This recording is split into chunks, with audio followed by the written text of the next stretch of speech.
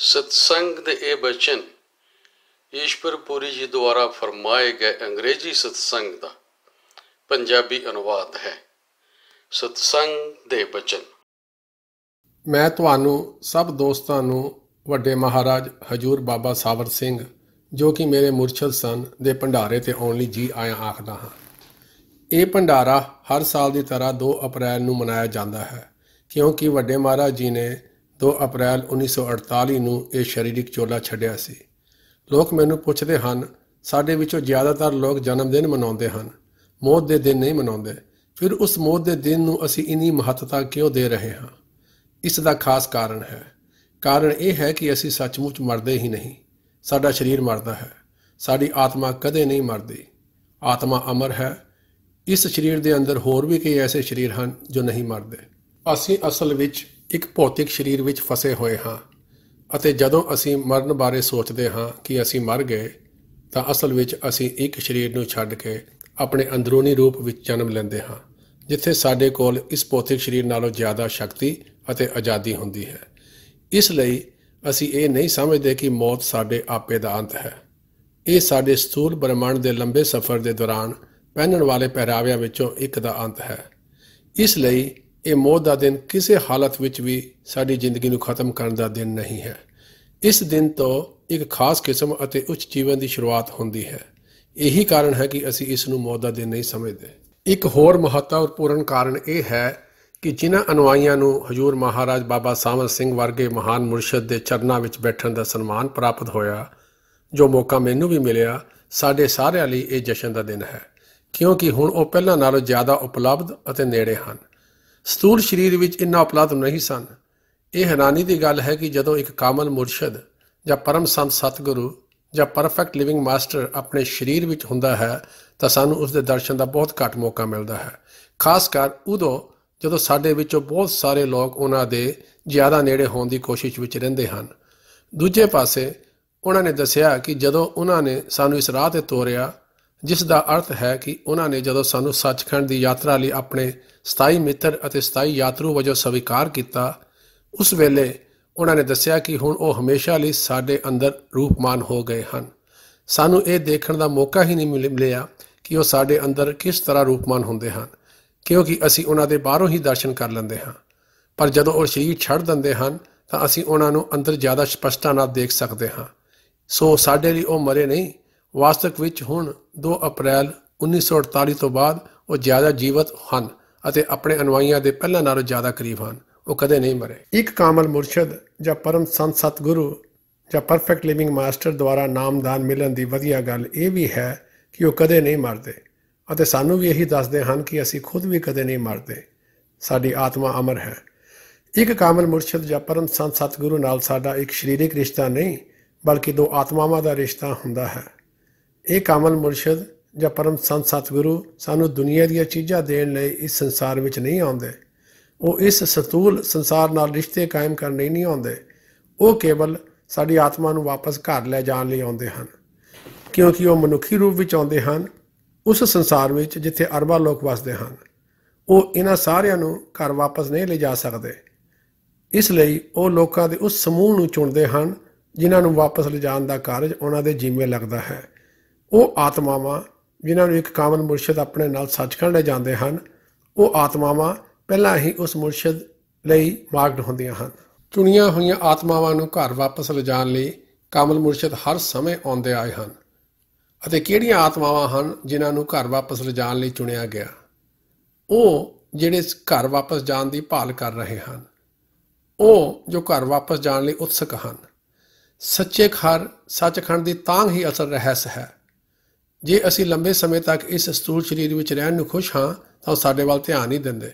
ਉਹ ਕਹਿੰਦੇ ਹਨ, ਜਾਓ ਅਤੇ ਮੋਜਾ ਮਾਣੋ। ਇਹ ਤੁਹਾਡਾ ਸੁੱਖ, ਦੁੱਖ ਅਤੇ ਸਥੂਲ ਸਰੀਰ ਨੂੰ ਮਾਨਣ ਦਾ ਸਮਾਂ ਹੈ। ਉਤਾਰ ਚੜਾਵ ਦੇ ਤਜਰਬੇ ਕਰਦੇ ਰਹੋ। ਪਰ ਜਦੋਂ ਤੁਸੀਂ ਥੱਕ ਜਾਂਦੇ ਹੋ, ਜਦੋਂ ਤੁਸੀਂ ਮਹਿਸੂਸ ਕਰਦੇ ਹੋ ਕਿ ਬਹੁਤ ਹੋ ਗਿਆ ਅਤੇ ਤੁਹਾਨੂੰ ਲੱਗਦਾ ਹੈ ਕਿ ਇਹ ਜਗ੍ਹਾ ਸਾਡੇ ਲਈ ਨਹੀਂ ਹੈ, ਤਾਂ ਤੁਸੀਂ ਅਬਲਾਖੀ ਜਾਂ ਸੀਕਰ ਬਣਦੇ ਹੋ। ਜਦ ਤੁਸੀਂ ਤਹਿ ਦਿਲੋਂ ਚਾਹੁੰਦੇ ਹੋ ਅਤੇ ਤੁਹਾਡੇ ਅੰਦਰੋਂ ਹੂਕ ਉੱਠਦੀ ਹੈ ਤਦ ਤੱਕ ਕਾਮਲ ਮੁਰਸ਼ਿਦ ਅਚਾਨਕ ਤੁਹਾਡੇ ਜੀਵਨ ਵਿੱਚ ਪ੍ਰਗਟ ਹੁੰਦਾ ਹੈ ਅਤੇ ਕਹਿੰਦਾ ਹੈ, ਹਾਂ, ਮੈਂ ਆ ਗਿਆ ਅਤੇ ਅਸੀਂ ਇਕੱਠੇ ਵਾਪਸ ਘਰ ਵੱਲ ਯਾਤਰਾ ਕਰਾਂਗੇ। ਇਹ ਕਾਮਲ ਮੁਰਸ਼ਿਦ ਜਾਂ ਪਰਮ ਸੰਤ ਸਤਿਗੁਰੂ ਦੂਜੇ ਅਧਿਆਪਕਾਂ ਵਾਂਗ ਸਾਨੂੰ ਕੁਝ ਸਿਖਾਉਣ ਨਹੀਂ ਆਉਂਦੇ। ਇੱਥੇ ਬਹੁਤ ਸਾਰੇ ਲੋਕ ਹਨ ਜੋ ਸਾਨੂੰ ਸਿਖਾ ਸਕਦੇ ਹਨ। ਨਾ ਹੀ ਉਹ ਸਾਨੂੰ ਬਿਹਤਰ ਵਿਅਕਤੀ ਬਣਾਉਣ ਲਈ ਆਉਂਦੇ ਹਨ। ਜੇਕਰ ਅਸੀਂ ਬਿਹਤਰ ਵਿਅਕਤੀ ਬਣ ਜਾਈਏ ਤਾਂ ਅਗਲੇ ਜਨਮ ਵਿੱਚ ਇਸ ਕਰਮ ਦਾ ਵਧੀਆ ਫਲ ਮਿਲਦਾ ਹੈ। ਇਸ ਲਈ ਉਹ ਸਾਨੂੰ ਬਿਹਤਰ ਜਾਂ ਘੱਟ ਬਿਹਤਰ ਬਣਾਉਣ ਜਾਂ ਸਮਾਜ ਨੂੰ ਬਿਹਤਰ ਬਣਾਉਣ ਜਾਂ ਕਿਸੇ ਲਈ ਪ੍ਰਚਾਰ ਕਰਨ ਲਈ ਨਹੀਂ ਆਉਂਦੇ। ਉਹ ਅਜਿਹਾ ਕੋਈ ਵੀ ਕੰਮ ਨਹੀਂ ਕਰਦੇ। ਹਜ਼ਾਰਾਂ ਹੋਰ ਹਨ ਜੋ ਇਸ ਤਰ੍ਹਾਂ ਕਰ ਸਕਦੇ ਹਨ। ਉਹਨਾਂ ਦੇ ਇਸ ਦੁਨੀਆ ਤੇ ਆਉਣ ਦਾ ਸਧਾਰਨ ਮਕਸਦ ਆਪਣੀਆਂ ਚੁਣੀਆਂ ਹੋਈਆਂ ਆਤਮਾਵਾਂ ਨੂੰ ਚੁੱਕ ਕੇ ਵਾਪਸ ਸੱਚਖੰਡ ਜਾਣ ਦਾ ਹੁੰਦਾ ਹੈ। ਉਹਨਾਂ ਦਾ ਇੱਕੋ ਹੀ ਮਕਸਦ ਹੁੰਦਾ ਹੈ ਕਿ ਜੋ ਵੀ ਆਤਮਾਵਾਂ ਉਸ ਸਮੇਂ ਉਸ ਜਗ੍ਹਾ ਤੇ ਤਿਆਰ ਨੇ ਅਤੇ ਉਹਨਾਂ ਦੀ ਮਾਰਕਡ ਸੋਲ ਦੀ ਲਿਸਟ ਵਿੱਚ ਹਨ ਉਹ ਉਹਨਾਂ ਨੂੰ ਚੁਣ ਕੇ ਵਾਪਸ ਘਰ ਲੈ ਜਾਂਦੇ ਹਨ। ਉਹ ਕੋਈ ਸ਼ਰਤਾਂ ਨਹੀਂ ਰੱਖਦੇ। ਉਹ ਇਹ ਨਹੀਂ ਕਹਿੰਦੇ ਕਿ ਤੁਹਾਨੂੰ ਬੁੱਧੀਮਾਨ ਹੋਣਾ ਜ਼ਰੂਰੀ ਹੈ। ਤੁਹਾਨੂੰ ਇੰਨਾ ਅਭਿਆਸ ਕਰਨਾ ਚਾਹੀਦਾ ਹੈ ਜਾਂ ਤੁਹਾਨੂੰ ਇਸ ਤਰ੍ਹਾਂ ਦਾ ਵਿਅਕਤੀ ਹੋਣਾ ਚਾਹੀਦਾ ਹੈ ਜਾਂ ਕਿਸੇ ਖਾਸ ਢੰਗ ਦੇ ਕੱਪੜੇ ਪਹਿਨਣੇ ਜਾਂ ਕੋਈ ਖਾਸ ਖਾਣਾ ਖਾਣਾ ਚਾਹੀਦਾ ਹੈ।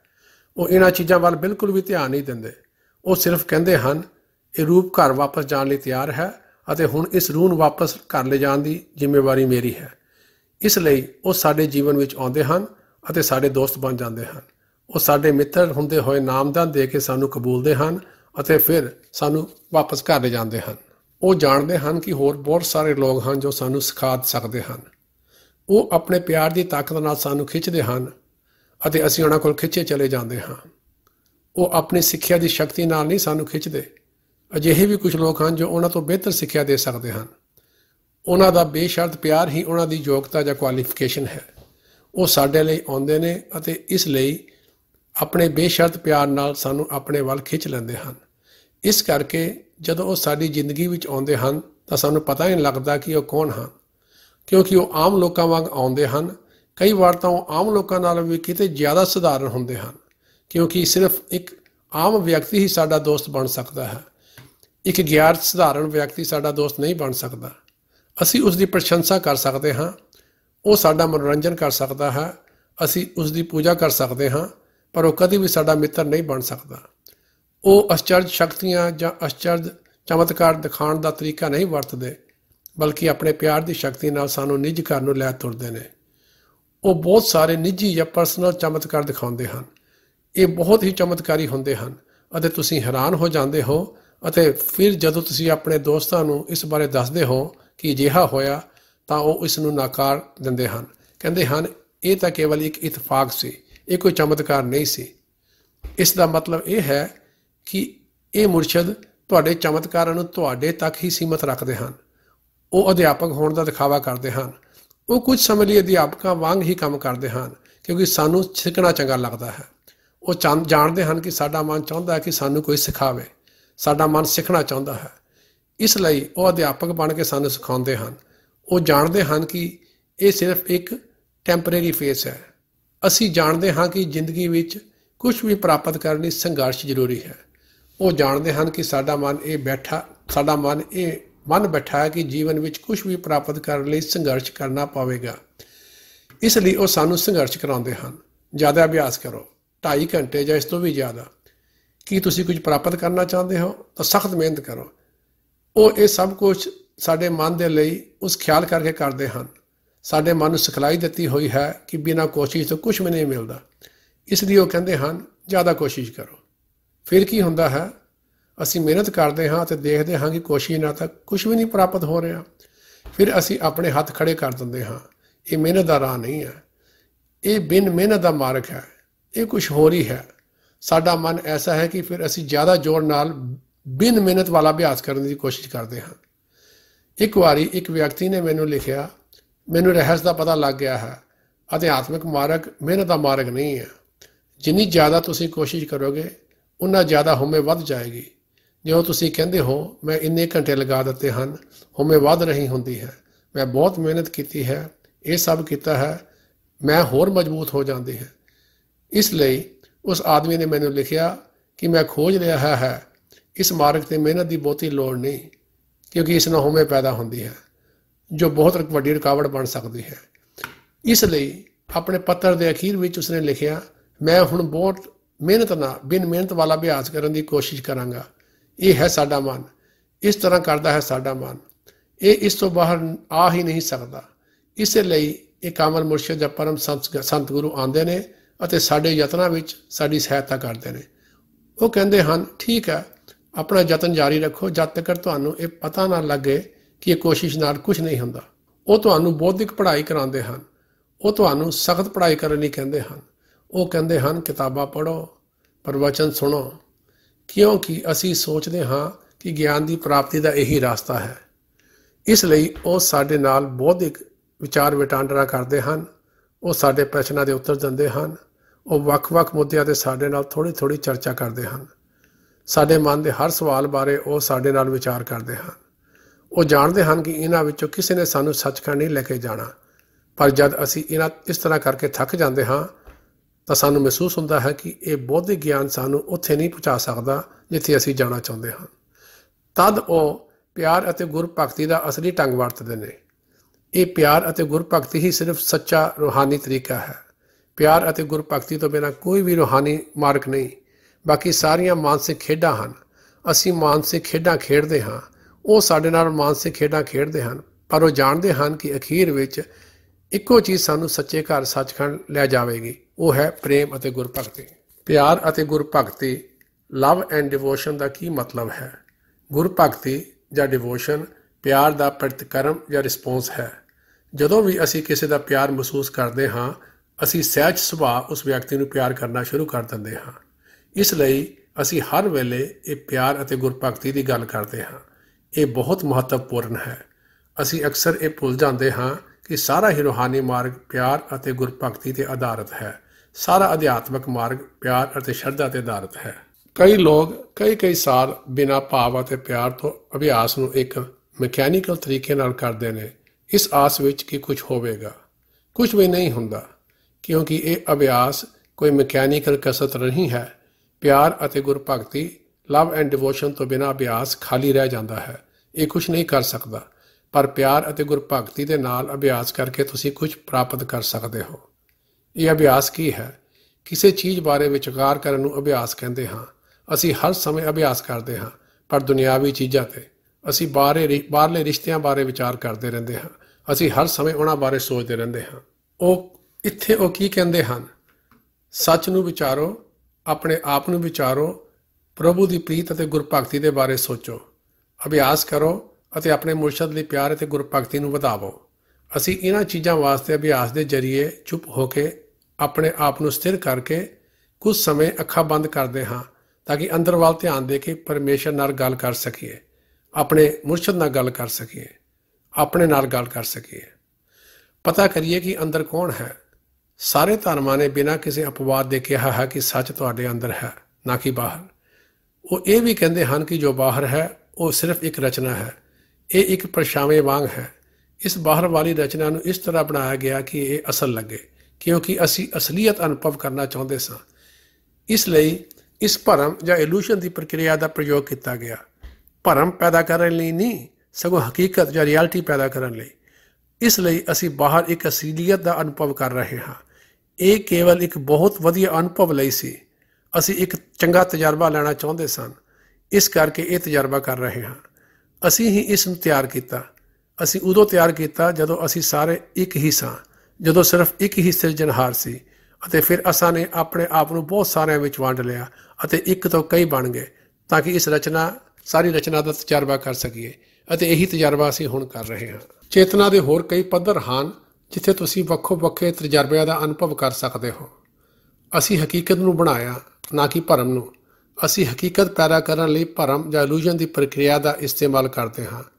ਸੋ ਇਸ ਲਈ ਕਿਸੇ ਵੀ ਇੱਕ ਸਮੇਂ ਸਿਰਫ ਇੱਕ ਹੀ ਕਿਸਮ ਦਾ ਤਜਰਬਾ ਸਾਨੂੰ ਅਸਲ ਮਹਿਸੂਸ ਹੁੰਦਾ ਹੈ।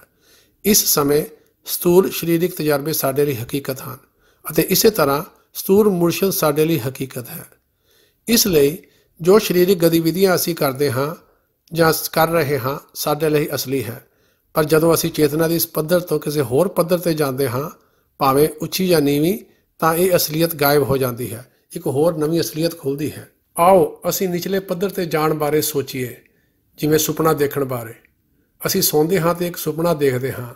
ਸੁਪਨੇ ਵਿੱਚ ਸਾਡਾ ਇੱਕ ਵੱਖਰਾ ਸੰਸਾਰ ਹੈ। ਇੱਕ ਵੱਖਰੀ ਹਕੀਕਤ ਹੁੰਦੀ ਹੈ। ਕੁਦਰਤ ਦੇ ਵੱਖ-ਵੱਖ ਕਾਨੂੰਨ ਹੁੰਦੇ ਨੇ। ਸਮੇਂ ਅਤੇ ਸਥਾਨ ਦੇ ਵੱਖ-ਵੱਖ ਕਾਨੂੰਨ ਦੀ ਪਾਲਣਾ ਹੁੰਦੀ ਹੈ। ਇੱਕ ਸੁਪਨੇ ਵਿੱਚ ਤੁਸੀਂ ਤੁਰੰਤ ਇੱਕ ਜਗ੍ਹਾ ਤੋਂ ਦੂਜੀ ਜਗ੍ਹਾ ਇੱਕ ਪਲ ਵਿੱਚ ਪਹੁੰਚ ਸਕਦੇ ਹੋ ਅਤੇ ਇਹ ਬਿਲਕੁਲ ਹੀ ਸੁਭਾਵਿਕ ਲੱਗਦਾ ਹੈ। ਸੁਪਨੇ ਤੇ ਕੋਈ ਸਵਾਲ ਨਹੀਂ ਹੁੰਦਾ। ਇੱਕ ਸੁਪਨੇ ਵਿੱਚ ਤੁਸੀਂ 50 ਸਾਲ ਦੀ ਛਾਲ ਮਾਰ ਸਕਦੇ ਹੋ ਅਤੇ ਇਹ ਅਜੀਬ ਨਹੀਂ ਲੱਗਦਾ। ਸੁਪਨੇ ਵਿੱਚ ਸਮਾਂ ਅਤੇ ਜਗ੍ਹਾ, ਸਪੇਸ ਐਂਡ ਟਾਈਮ ਦਾ ਤਜਰਬਾ ਅਲੱਗ ਤਰ੍ਹਾਂ ਦਾ ਹੁੰਦਾ ਹੈ। ਇਸ ਤਜਰਬੇ ਦੇ ਨਿਯਮ ਜਾਗਰਤ ਅਵਸਥਾ ਨਾਲੋਂ ਬਹੁਤ ਅਲੱਗ ਹੁੰਦੇ ਨੇ ਅਤੇ ਫਿਰ ਵੀ ਉਹ ਬਿਲਕੁਲ ਨੋਰਮਲ ਲੱਗਦੇ ਨੇ। ਕਿਸ ਨੂੰ? ਉਸੇ ਆਪੇ ਜਾਂ ਸੈਲਫ ਨੂੰ ਜੋ ਸੌਣ ਗਿਆ ਸੀ। ਜਦੋਂ ਅਸੀਂ ਇੱਕ ਸੁਪਨਾ ਦੇਖਦੇ ਹਾਂ ਤਾਂ ਇਹ ਸੁਪਨਾ ਕੋਈ ਹੋਰ ਨਹੀਂ ਦੇਖ ਰਿਹਾ ਹੁੰਦਾ। ਇਹ ਉਹੀ ਆਪਾ ਜਾਂ ਸੈਲਫ ਹੈ ਜੋ ਜਾਗ ਰਿਹਾ ਸੀ।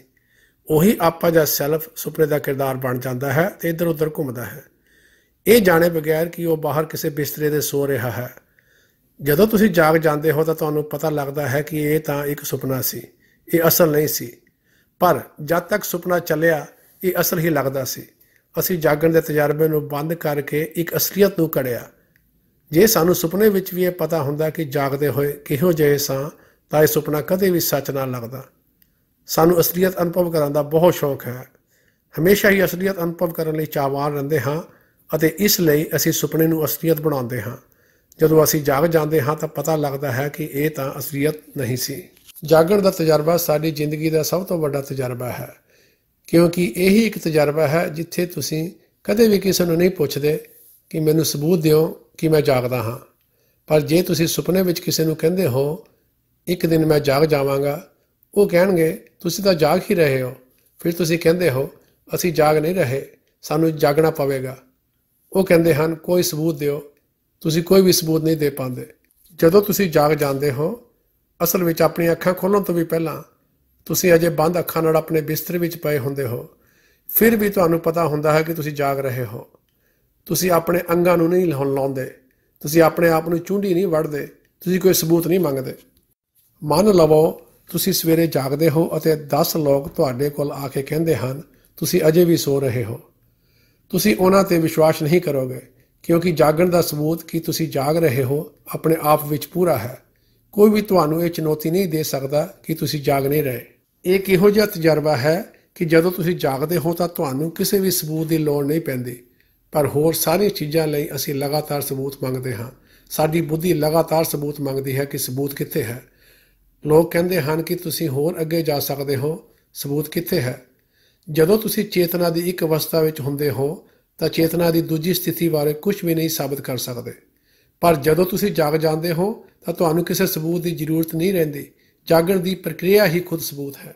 ਉਹ ਜਾਗਣ ਦੀ ਕਿਹੜੀ ਪ੍ਰਕਿਰਿਆ ਹੈ, ਜੋ ਤੁਹਾਨੂੰ ਪੂਰੀ ਤਰ੍ਹਾਂ ਨਿਸ਼ਚਿਤ ਕਰਾਂਦੀ ਹੈ ਕਿ ਤੁਸੀਂ ਜਾਗ ਰਹੇ ਹੋ? ਤੁਸੀਂ ਸਵੇਰੇ ਉੱਠਦੇ ਹੋ। ਤੁਹਾਨੂੰ ਕਿਵੇਂ ਨਿਸ਼ਚੈ ਪੂਰਵਕ ਇਹ ਪਤਾ ਲੱਗਦਾ ਹੈ ਕਿ ਤੁਸੀਂ ਇੱਕ ਸੁਪਨਾ ਦੇਖਿਆ ਸੀ? ਤੁਸੀਂ ਸੁੱਤੇ ਹੋਏ ਸੀ ਅਤੇ ਹੁਣ ਕਿਸੇ ਜਾਗਣ ਦੇ ਸਬੂਤ ਤੋਂ ਬਿਨਾਂ ਜਾਗ ਰਹੇ ਹੁੰਦੇ ਹੋ। ਤੁਸੀਂ ਆਪਣੇ ਆਪ ਨੂੰ ਚੁੰਡੀ ਵੱਢ ਕੇ ਨਹੀਂ ਦੇਖਦੇ ਕਿ ਤੁਸੀਂ ਜਾਗ ਰਹੇ ਹੋ। ਤੁਹਾਡੇ ਲਈ ਇਹ ਹੀ ਸਬੂਤ ਕਾਫੀ ਹੈ ਕਿ ਤੁਹਾਡੀ ਚੇਤਨਾ ਨੂੰ ਯਾਦ ਹੈ ਕਿ ਤੁਸੀਂ ਸੌਣ ਗਏ ਸੀ। ਤੁਹਾਨੂੰ ਯਾਦ ਹੈ ਕਿ ਤੁਸੀਂ ਉਸ ਮੰਜੇ ਤੇ ਸੌਣ ਲਈ ਗਏ ਸੀ ਅਤੇ ਹੁਣ ਤੁਸੀਂ ਜਾਗ ਰਹੇ ਹੋ। ਤੁਸੀਂ ਉਸੇ ਮੰਜੇ ਤੇ ਹੋ। ਤੁਹਾਨੂੰ ਸਭ ਯਾਦ ਆ ਜਾਂਦਾ ਹੈ। ਸੌਣ ਤੋਂ ਅਤੇ ਸੁਪਨੇ ਤੋਂ ਪਹਿਲਾਂ ਦੀਆਂ ਸਭ ਗੱਲਾਂ ਯਾਦ ਆ ਜਾਂਦੀਆਂ ਹਨ। ਇੱਕ ਉਚੇਰੀ ਪੱਧਰ ਦੀ ਚੇਤਨ ਅਵਸਥਾ ਵਿੱਚ ਜਾਗਣਾ ਇਸੇ ਤਰ੍ਹਾਂ ਦਾ ਹੁੰਦਾ ਹੈ। ਜਦੋਂ ਤੁਸੀਂ ਇੱਕ ਉੱਚ ਪੱਧਰ ਦੀ ਚੇਤਨ ਅਵਸਥਾ ਵਿੱਚ ਜਾਂਦੇ ਹੋ ਤਾਂ ਤੁਹਾਨੂੰ ਯਾਦ ਆ ਜਾਂਦਾ ਹੈ ਕਿ ਜਨਮ ਤੋਂ ਪਹਿਲਾਂ ਵੀ ਤੁਸੀਂ ਇੱਥੇ ਹੀ ਸੀ।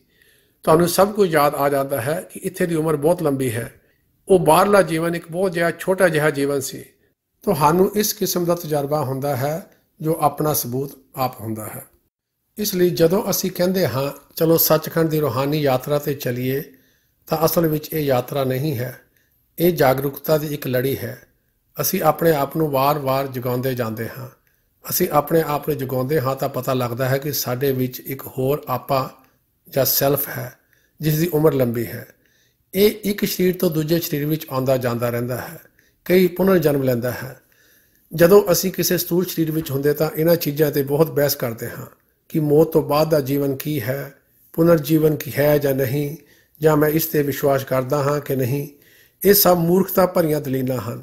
ਜਾਗੋ ਅਤੇ ਵੇਖੋ ਕੀ ਤੁਸੀਂ ਉਧਰ ਉਧਰ ਸੀ ਜਾਂ ਨਹੀਂ?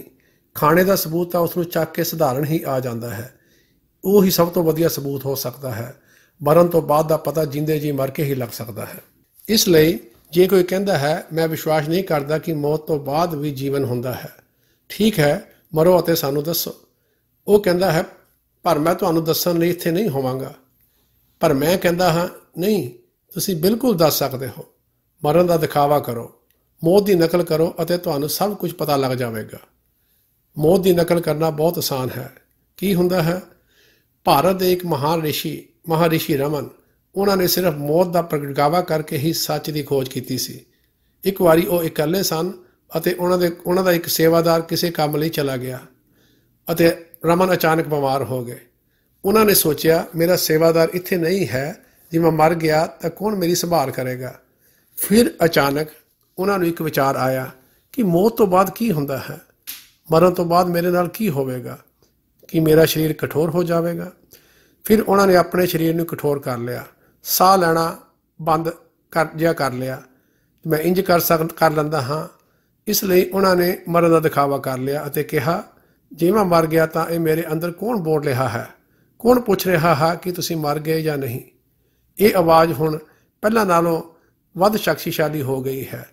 ਇਹ ਸਭ ਨਾਲ ਉਹਨਾਂ ਨੂੰ ਪਤਾ ਲੱਗਿਆ ਕਿ ਸਾਡੇ ਵਿੱਚ ਇੱਕ ਅਜਿਹੀ ਚੀਜ਼ ਹੈ ਜੋ ਕਦੇ ਨਹੀਂ ਮਰਦੀ ਅਤੇ ਇਸ ਲਈ ਤੁਸੀਂ ਅਭਿਆਸ ਦੀ ਸਧਾਰਨ ਪ੍ਰਕਿਰਿਆ ਦੁਆਰਾ ਜਿਉਂਦੇ ਜੀ ਮੌਤ ਦਾ ਅਨੁਭਵ ਕਰ ਸਕਦੇ ਹੋ ਅਤੇ ਇਸ ਗੱਲ ਦੀ ਜਾਂਚ ਕਰ ਸਕਦੇ ਹੋ ਕਿ ਕੀ ਹੁੰਦਾ ਹੈ। ਇਹ ਨਹੀਂ ਕਿ ਅਸਲ ਜਾਣਕਾਰੀ ਤੋਂ ਬਿਨਾ ਅਸੀਂ ਇਹਨਾਂ ਚੀਜ਼ਾਂ ਬਾਰੇ ਲਗਾਤਾਰ ਬਹਿਸ ਪਸਾਈ ਕਰੀ ਜਾਈਏ। ਅਸਲੀ ਗਿਆਨ ਪ੍ਰਾਪਤ ਕਰੋ ਅਤੇ ਇਹ ਕਰਨ ਦਾ ਢੰਗ ਬਹੁਤ ਹੀ ਆਸਾਨ ਹੈ। ਜਦੋਂ ਤੁਸੀਂ ਸਰੀਰਕ ਤੌਰ ਤੇ ਮਰਦੇ ਹੋ ਤਾਂ ਕੀ ਹੁੰਦਾ ਹੈ? ਤੁਸੀਂ ਇੱਕੋ ਵਾਰੀ ਨਹੀਂ ਮਰਦੇ, ਪਰ ਹੌਲੀ-ਹੌਲੀ ਮਰਦੇ ਹੋ। ਜੇ ਤੁਸੀਂ ਕਿਸੇ ਨੂੰ ਮਰਦੇ ਦੇਖਿਆ ਹੋਵੇ, ਤਾਂ ਤੁਸੀਂ ਦੇਖੋਗੇ ਕਿ ਉਹ ਇੱਕ ਸਮੇਂ ਨਹੀਂ ਮਰਦੇ। ਪਹਿਲਾਂ ਉਹਨਾਂ ਦੇ ਹੱਥ ਪੈਰ ਸੁੰਨ ਹੁੰਦੇ ਹਨ, ਫਿਰ ਉਹਨਾਂ ਨੂੰ ਹੱਥਾਂ ਪੈਰਾਂ ਬਾਰੇ ਕੁਝ ਵੀ ਨਹੀਂ ਪਤਾ ਰਹਿੰਦਾ। ਉਹ ਆਪਣੇ ਸਿਰ, ਸਿਰੇ ਵਾਲੇ ਅੰਗਾਂ ਤੋਂ ਅਣਜਾਣ ਹੋ ਜਾਂਦੇ ਹਨ ਅਤੇ ਫਿਰ ਉਹ ਆਪਣੀਆਂ ਬਾਹਾਂ ਅਤੇ ਲੱਤਾਂ ਤੋਂ ਅਣਜਾਣ ਹੋ ਜਾਂਦੇ ਹਨ। ਉਹ ਹੱਲੇ ਵੀ ਸਾਡੇ ਨਾਲ ਗੱਲ ਕਰ ਰਹੇ ਹੁੰਦੇ ਹਨ। ਸਾਨੂੰ ਕਹਿੰਦੇ ਹਨ, ਇਸ ਲੱਤ ਬਾਹ ਨੂੰ ਇੱਧਰ, ਉੱਧਰ ਕਰ ਦਿਓ। ਇਹ ਤਾਂ ਪਹਿਲਾਂ ਹੀ ਇੱਧਰ ਹੈ। ਉਹ ਪੂਰੀ ਤਰ੍ਹਾਂ ਅਣਜਾਣ ਹੋ ਚੁੱਕੇ ਹਨ। ਫਿਰ ਉਹ ਆਪਣੇ ਧੜ ਦੇ ਥੱਲੇ ਤੋਂ ਅਣਜਾਣ ਹੋ ਜਾਂਦੇ ਹਨ। ਮਹਿਸੂਸ ਕਰਦੇ ਹਨ ਕਿ ਉਹ ਹਵਾ ਵਿੱਚ ਉੱਡ ਰਹੇ ਹਨ। ਫਿਰ ਜੀਵਨ ਤਾਕਤ ਬਾਹਰ ਨਿਕਲਣੀ ਸ਼ੁਰੂ ਹੋ ਜਾਂਦੀ ਹੈ ਅਤੇ ਜਦੋਂ ਇਹ ਸਿਰ ਤੱਕ ਪਹੁੰਚ ਜਾਂਦੀ ਹੈ ਅਤੇ ਦਿਮਾਗ ਪੱਖੋਂ ਮਰ ਜਾਂਦੇ ਹਨ, ਤਾਂ ਉਹ ਮਰ ਜਾਂਦੇ ਹਨ। ਇਸ ਨੂੰ ਮੌਤ ਕਿਹਾ ਜਾਂਦਾ ਹੈ। ਇਸ ਮੌਤ ਵਿੱਚ ਜੀਵਨ ਤਾਕਤ ਇੱਕ ਤਰ੍ਹਾਂ ਪੜਾਵਾਂ ਵਿੱਚ ਵਾਪਸ ਜਾਂਦੀ ਹੈ। ਕਿਹੜੀ ਚੀਜ਼ ਸਾਡੀ ਰਚਨਾ ਕਰਦੀ ਹੈ ਅਤੇ ਜੀਵਨ ਸ਼ਕਤੀ ਨੂੰ ਪੂਰੇ ਸਰੀਰ ਵਿੱਚ ਦਰਸਾਉਂਦੀ ਹੈ? ਜੇ ਤੁਸੀਂ ਧਿਆਨ ਨਾਲ ਜਾਂਚ ਕਰੋ, ਜੇ ਤੁਸੀਂ ਚੇਤਨਾ ਦਾ ਅਧਿਐਨ ਕਰੋ ਕਿ ਕਿਹੜੀ ਅਜਿਹੀ ਚੀਜ਼ ਹੈ ਜਿਸ ਨਾਲ ਸਾਨੂੰ ਆਪਣੇ ਸਰੀਰ ਬਾਰੇ ਹੋਸ਼ ਹੁੰਦੀ ਹੈ, ਤਾਂ ਤੁਹਾਨੂੰ ਪਤਾ ਲੱਗੇਗਾ ਕਿ ਇਹ ਤੁਹਾਡੀ ਤਵੱਜੋ ਜਾਂ ਸੁਰਤ ਹੈ, ਜੋ ਸਰੀਰ ਦੇ ਵੱਖ-ਵੱਖ ਹਿੱਸਿਆਂ ਵਿੱਚ ਵਸੀ ਹੋਈ ਹੈ। ਤੁਹਾਡੀ ਤਵੱਜੋ ਸਾਰੇ ਸਰੀਰ ਵਿੱਚ ਖਿਲਰੀ ਹੋਈ ਹੈ, ਜਿਸ ਕਰਕੇ ਤੁਹਾਨੂੰ ਇਹ ਮਹਿਸੂਸ ਹੁੰਦਾ ਹੈ ਕਿ ਤੁਹਾਡੇ ਕੋਲ ਹੱਥ ਪੈਰ ਹਨ। ਤਵੱਜੋ ਤੋਂ ਬਿਨਾ ਨਹੀਂ ਪਤਾ ਲੱਗ ਸਕਦਾ ਕਿ ਤੁਹਾਡੇ ਕੋਲ ਕੀ ਹੈ। ਤਵੱਜੋ ਦਾ ਲਗਾਤਾਰ ਸਰੀਰ ਵਿੱਚ ਫੈਲਣ ਕਰਕੇ ਤੁਹਾਨੂੰ ਸਰੀਰ ਬਾਰੇ ਸੋਝੀ ਹੁੰਦੀ ਹੈ। ਜਦੋਂ ਤੁਹਾਡੇ ਕੋਲ ਸਰੀਰ ਹੁੰਦਾ ਹੈ, ਅੱਖਾਂ ਖੁੱਲਦੀਆਂ ਹਨ, ਕੰਨ ਖੁੱਲਦੇ ਹਨ, ਫਿਰ ਸਰੀਰ ਵਿੱਚੋਂ ਤੁਸੀਂ ਇਸ ਸਥੂਲ ਸਰੀਰ ਨੂੰ ਦੇਖ ਸੰਸਾਰ ਨੂੰ ਦੇਖਦੇ ਹੋ। ਇਹ ਇੱਕ ਸਥੂਲ ਸੰਸਾਰ ਹੈ, ਕਿਉਂਕਿ ਤੁਹਾਡੇ ਕੋਲ ਵੀ ਇੱਕ ਸਥੂਲ ਸਰੀਰ ਹੈ। ਤੁਹਾਡੀ ਤਵੱਜੋ ਇਸ ਸਥੂਲ ਸਰੀਰ ਦੇ ਜ਼ਰੀਏ ਕੰਮ ਕਰਦੀ ਹੈ। ਅਤੇ ਇਸ ਲਈ ਤੁਹਾਡੇ ਆਲੇ ਦੁਆਲੇ ਦਾ ਸੰਸਾਰ ਇੱਕ ਸਥੂਲ ਸੰਸਾਰ ਬਣ ਜਾਂਦਾ ਹੈ। ਜਦੋਂ ਤੁਸੀਂ ਆਪਣੇ ਤਵੱਜੋ ਨੂੰ ਸਥੂਲ ਸਰੀਰ ਤੋਂ ਹਟਾਉਂਦੇ ਹੋ, ਤਾਂ ਇਹ ਦ੍ਰਿਸ਼ ਬਦਲ ਜਾਂਦਾ ਹੈ। ਤਵੱਜੋ ਨੂੰ ਕਿਸੇ ਉੱਚੇ ਜਾਂ ਹੇਠਲੀ ਪੱਧਰ ਤੇ ਲਿਜਾ ਕੇ ਇਸ ਸਥੂਲ ਸਰੀਰ ਤੋਂ ਹਟਾਇਆ ਜਾ ਸਕਦਾ ਹੈ। ਜਦੋਂ ਤੁਸੀਂ ਗਾਉਲ ਦੀ ਪੱਧਰ ਤੇ ਤਵੱਜੋ ਖਿੱਚਦੇ ਹੋ, ਗਲੇ ਦੇ ਊਰਜਾ ਚੱਕਰ ਜਾਂ એનર્ਜੀ ਸੈਂਟਰ ਤੇ, ਤਾਂ ਤੁਸੀਂ ਸੁਪਨੇ ਦੇਖਣੇ ਸ਼ੁਰੂ ਕਰ ਦਿੰਦੇ ਹੋ। ਤੁਸੀਂ ਸੋ ਜਾਂਦੇ ਹੋ। ਤੁਸਾਂ ਨੇ ਆਪਣੀ ਤਵੱਜੋ ਸਰੀਰ ਤੋਂ ਖਿੱਚ ਲਈ ਅਤੇ ਤੁਹਾਨੂੰ ਪਤਾ ਹੀ ਨਹੀਂ ਕਿ ਸਰੀਰ ਕਿੱਥੇ ਹੈ ਅਤੇ ਇੱਕ ਸੁਪਨਾ ਸ਼ੁਰੂ ਹੋ ਜਾਂਦਾ ਹੈ, ਜਿਸ ਨਾਲ ਇੱਕ ਸੁਪਨੇ ਦਾ ਸੰਸਾਰ ਪ੍ਰਗਟ ਹੋ ਜਾਂਦਾ ਹੈ। ਸੁਪਨੇ ਲੈਂਦੇ ਤੁਸੀਂ ਇਸ ਸਤੂਲ ਸਰੀਰ ਨੂੰ ਨਹੀਂ ਵੇਖਦੇ, ਤੁਸੀਂ ਸੁਪਨੇ ਦਾ ਸੰਸਾਰ ਵੇਖਦੇ ਹੋ। ਸੁਪਨੇ ਦਾ ਸੰਸਾਰ ਕਈ ਵਾਰੀ ਇਸ ਸਤੂਲ ਸੰਸਾਰ ਵਰਗਾ ਲੱਗਦਾ ਹੈ ਅਤੇ ਕਦੀ ਨਹੀਂ, ਪਰ ਉਹ ਇਹ ਸੰਸਾਰ ਨਹੀਂ ਹੈ। ਇਸੇ ਤਰ੍ਹਾਂ ਜਦੋਂ ਤੁਸੀਂ ਆਪਣੀ ਤਵੱਜੋ ਨੂੰ ਇਸ ਜਾਗਣ ਦੀ ਅਵਸਥਾ ਤੋਂ ਉੱਪਰ ਲੈ ਜਾਂਦੇ ਹੋ ਤਾਂ ਇੱਕ ਹੋਰ ਸਰੀਰ ਦਾ ਅਨੁਭਵ ਹੁੰਦਾ ਹੈ ਅਤੇ ਉਹ ਇੱਕ ਹੋਰ ਸੰਸਾਰ ਨੂੰ ਪ੍ਰਗਟ ਕਰਦਾ ਹੈ। ਜਿਸ ਤਰ੍ਹਾਂ ਦੇ ਸਾਡੇ ਕੱਪੜੇ ਜਾਂ ਗਲਾਫ ਹੁੰਦੇ ਹਨ, ਉਸੇ ਤਰ੍ਹਾਂ ਦੇ ਸਰੀਰ ਨੂੰ ਅਸੀਂ ਅਨੁਭਵ ਕਰਦੇ ਹਾਂ। ਇਹ ਇਸ ਗੱਲ ਤੇ ਨਿਰਭਰ ਕਰਦਾ ਹੈ ਕਿ ਅਸੀਂ ਕਿਹੜਾ ਵਾਹਨ ਇਸਤੇਮਾਲ ਕਰ ਰਹੇ ਹਾਂ ਅਤੇ ਅਸੀਂ ਕਿਹੜਾ ਪਹਿਰਾਵਾ ਪਾਇਆ ਹੋਇਆ ਹੈ। ਇਸ ਲਈ ਸਥੂਲ ਸਰੀਰ ਜਦੋਂ ਅਸੀਂ ਇਸ ਨੂੰ ਪਹਿਨਦੇ ਹਾਂ, ਅਸੀਂ ਉਹ ਕਾਰਜ ਕਰ ਸਕਦੇ ਹਾਂ ਜੋ ਮੌਤ ਸਾਡੇ ਲਈ ਕਰਦੀ ਹੈ। ਤਵੱਜੋ ਜਾਂ ਸੁਰਤ ਨੂੰ ਖਿੱਚ ਕੇ ਅਸੀਂ ਜੀਵਨ ਸ਼ਕਤੀ ਨੂੰ ਵਾਪਸ ਖਿੱਚ ਸਕਦੇ ਹਾਂ। ਜੇ ਅਸੀਂ ਅੱਖਾਂ ਬੰਦ ਕਰਕੇ ਇੱਕ ਇਕਾਂਤ ਜਗ੍ਹਾ ਉੱਤੇ ਬੈਠ ਕੇ ਬਾਹਰੋਂ ਦੁਨੀਆ ਤੋਂ ਧਿਆਨ ਖਿੱਚ ਕੇ ਅੰਦਰ ਬਾਰੇ ਸੋਚ ਵਿਚਾਰ ਕਰੀਏ, ਬਾਹਰ ਵੱਲ ਨਹੀਂ, ਜਿਸ ਦਾ ਅਰਥ ਹੈ ਜਦੋਂ ਅਸੀਂ ਆਪਣੇ ਆਪ ਨੂੰ ਵਿਚਾਰਦੇ ਹਾਂ ਤਾਂ ਕਿ, ਕੀ ਹੁੰਦਾ ਹੈ? ਜਿੰਨਾ ਜ਼ਿਆਦਾ ਤੁਸੀਂ ਵਿਆਸ ਸਿਮਰਨ ਵਿੱਚ ਬੈਠਦੇ ਹੋ, ਉਨਾ ਹੀ ਤੁਸੀਂ ਭੁੱਲ ਜਾਂਦੇ ਹੋ ਕਿ ਤੁਹਾਡੇ ਹੱਥ ਪੈਰ ਕਿੱਥੇ ਹਨ। ਤੁਸੀਂ ਹੋਰ ਲੰਬੇ ਸਮੇਂ ਲਈ ਬੈਠਦੇ ਹੋ ਤੁਸੀਂ ਭੁੱਲ ਭੁੱਲ ਜਾਂਦੇ ਹੋ ਕਿ ਤੁਹਾਡੀਆਂ ਲੱਤਾਂ ਬਾਹਾਂ ਕਿੱਥੇ ਹਨ? ਹੋਰ ਜ਼ਿਆਦਾ ਸਮਾਂ ਬਿਤਾਉਂਦੇ ਹੋ ਤਾਂ ਭੁੱਲ ਜਾਂਦੇ ਹੋ ਕਿ ਤੁਹਾਡਾ ਸਰੀਰ ਕਿੱਥੇ ਹੈ। ਪਰ ਤੁਸੀਂ ਉੱਥੇ ਹੀ ਹੁੰਦੇ ਹੋ। ਉੱਥੇ ਤੁਸੀਂ ਇੱਥੇ ਨਾਲੋਂ ਵੀ ਜ਼ਿਆਦਾ ਹੁੰਦੇ ਹੋ। ਉਸ ਰੂਪ ਵਿੱਚ ਤੁਸੀਂ ਦੇਖੋਗੇ ਕਿ ਕੁਦਰਤ ਦੇ ਹੋਰ ਹੀ ਕਾਨੂੰਨ ਹਨ। ਇੱਕ ਵੱਖਰੀ ਦੁਨੀਆ ਪ੍ਰਗਟ ਹੋ ਗਈ। ਸਾਡੀ ਚੇਤਨਾ ਸਹਿ ਸੁਭਾਈ ਇਸ ਦਾ ਅਨੁਭਵ ਕਰਦੀ ਹੈ। ਇਸ ਤਰ੍ਹਾਂ ਅਸੀਂ ਜਿਉਂਦੇ ਹੋਏ ਮਰ ਸਕਦੇ ਹਾਂ ਅਤੇ ਇਹ ਹੀ ਰਹੱਸ ਹੈ। ਇਹ ਹੀ ਸੱਚ ਦੀ ਖੋਜ ਦਾ ਰਹੱਸ ਹੈ। ਇਸ ਨੂੰ ਲੱਭਣ ਦਾ ਕਿ ਸਾਡਾ ਕੋਈ ਪਿਛਲਾ ਜਨਮ ਸੀ, ਕਿ ਸਾਡਾ ਕੋਈ ਅਗਲਾ ਜਨਮ ਹੋਵੇਗਾ, ਕਿ ਸਾਡੇ ਵਿੱਚ ਕੁਝ ਅਜਿਹਾ ਹੈ ਜੋ ਇਸ ਸਥੂਲ ਸਰੀਰ ਤੋਂ ਬਾਅਦ ਵੀ ਹੋਵੇਗਾ, ਇਹ ਅੰਦਾਜ਼ੇ ਜਾਂ ਕਿਆਸ ਦਾ ਵਿਸ਼ਾ ਨਹੀਂ ਹੈ। ਇਹ ਅਸਲ ਅਨੁਭਵ ਦਾ ਮਾਮਲਾ ਹੈ। ਕੋ ਅਤੇ ਕੋਈ ਵੀ ਇਸ ਨੂੰ ਕਰ ਸਕਦਾ ਹੈ। ਵਿਧੀ ਸੌਖੀ ਹੈ। ਸਰੀਰ ਤੋਂ ਆਪਣੀ ਸੁਰਤ ਜਾਂ ਤਵੱਜੋ ਨੂੰ ਹਟਾਓ, ਕਿੱਧਰ ਲਗਾਓ, ਜਿੱਥੇ ਤੁਹਾਨੂੰ ਲੱਗਦਾ ਹੈ ਕਿ ਤੁਸੀਂ ਚੇਤਨਾ ਦੇ ਰੂਪ ਵਿੱਚ ਹੋ। ਹੁਣੇ ਸਥੂਲ ਸਰੀਰ ਵਿੱਚ ਅਸੀਂ ਮਹਿਸੂਸ ਕਰਦੇ ਹਾਂ ਕਿ ਅਸੀਂ ਆਪਣੀਆਂ ਅੱਖਾਂ ਦੇ ਪਿੱਛੇ ਹਾਂ। ਇਸ ਲਈ ਜੇ ਆਪਣੀ ਸਾਰੀ ਤਵੱਜੋ ਨੂੰ ਅਸੀਂ ਅੱਖਾਂ ਦੇ ਪਿੱਛੇ ਵੱਲ ਦਈਏ, ਤਾਂ ਅਸੀਂ ਮਹਿਸੂਸ ਕਰਦੇ ਹਾਂ ਕਿ ਅਸੀਂ ਉੱਥੋਂ ਕਾਰਜਸ਼ੀਲ ਹੋ ਰਹੇ ਹਾਂ। ਇਸ ਸਰੀਰ ਨੂੰ ਅੱਖਾਂ ਦੇ ਪਿੱਛੇ ਕਿਸ ਪੁਆਇੰਟ ਤੋਂ ਚਲਾਉਂਦੇ ਹਾਂ? ਜੇਕਰ ਅਸੀਂ ਉਸ ਪੁਆਇੰਟ ਜਾਂ ਬਿੰਦੂ ਤੇ ਤਵੱਜੋ ਕੇਂਦਰਿਤ ਕਰੀਏ, ਤਾਂ ਹੌਲੀ-ਹੌਲੀ ਤਵੱਜੋ ਪੂਰੀ ਤਰ੍ਹਾਂ ਸਰੀਰ ਚੋਂ ਬਾਹਰ ਨਿਕਲ ਜਾਵੇਗੀ ਅਤੇ ਤੁਹਾਨੂੰ ਪਤਾ ਲੱਗ ਜਾਵੇਗਾ ਕਿ ਤੁਹਾਡੇ ਕੋਲ ਇੱਕ ਹੋਰ ਸਰੀਰ ਹੈ, ਇੱਕ ਹੋਰ ਜੀਵਨ ਜੋ ਸਾਡੇ ਜਨਮ ਤੋਂ ਪਹਿਲਾਂ ਵੀ ਸੀ। ਇਹ ਨਿੱਜੀ ਅਨੁਭਵ ਦਾ ਮਾਮਲਾ ਹੈ। ਇਹ ਕੋਈ ਅੰਦਾਜ਼ਾ ਲਗਾਉਣ ਦੀ ਕਿਰਿਆ ਨਹੀਂ।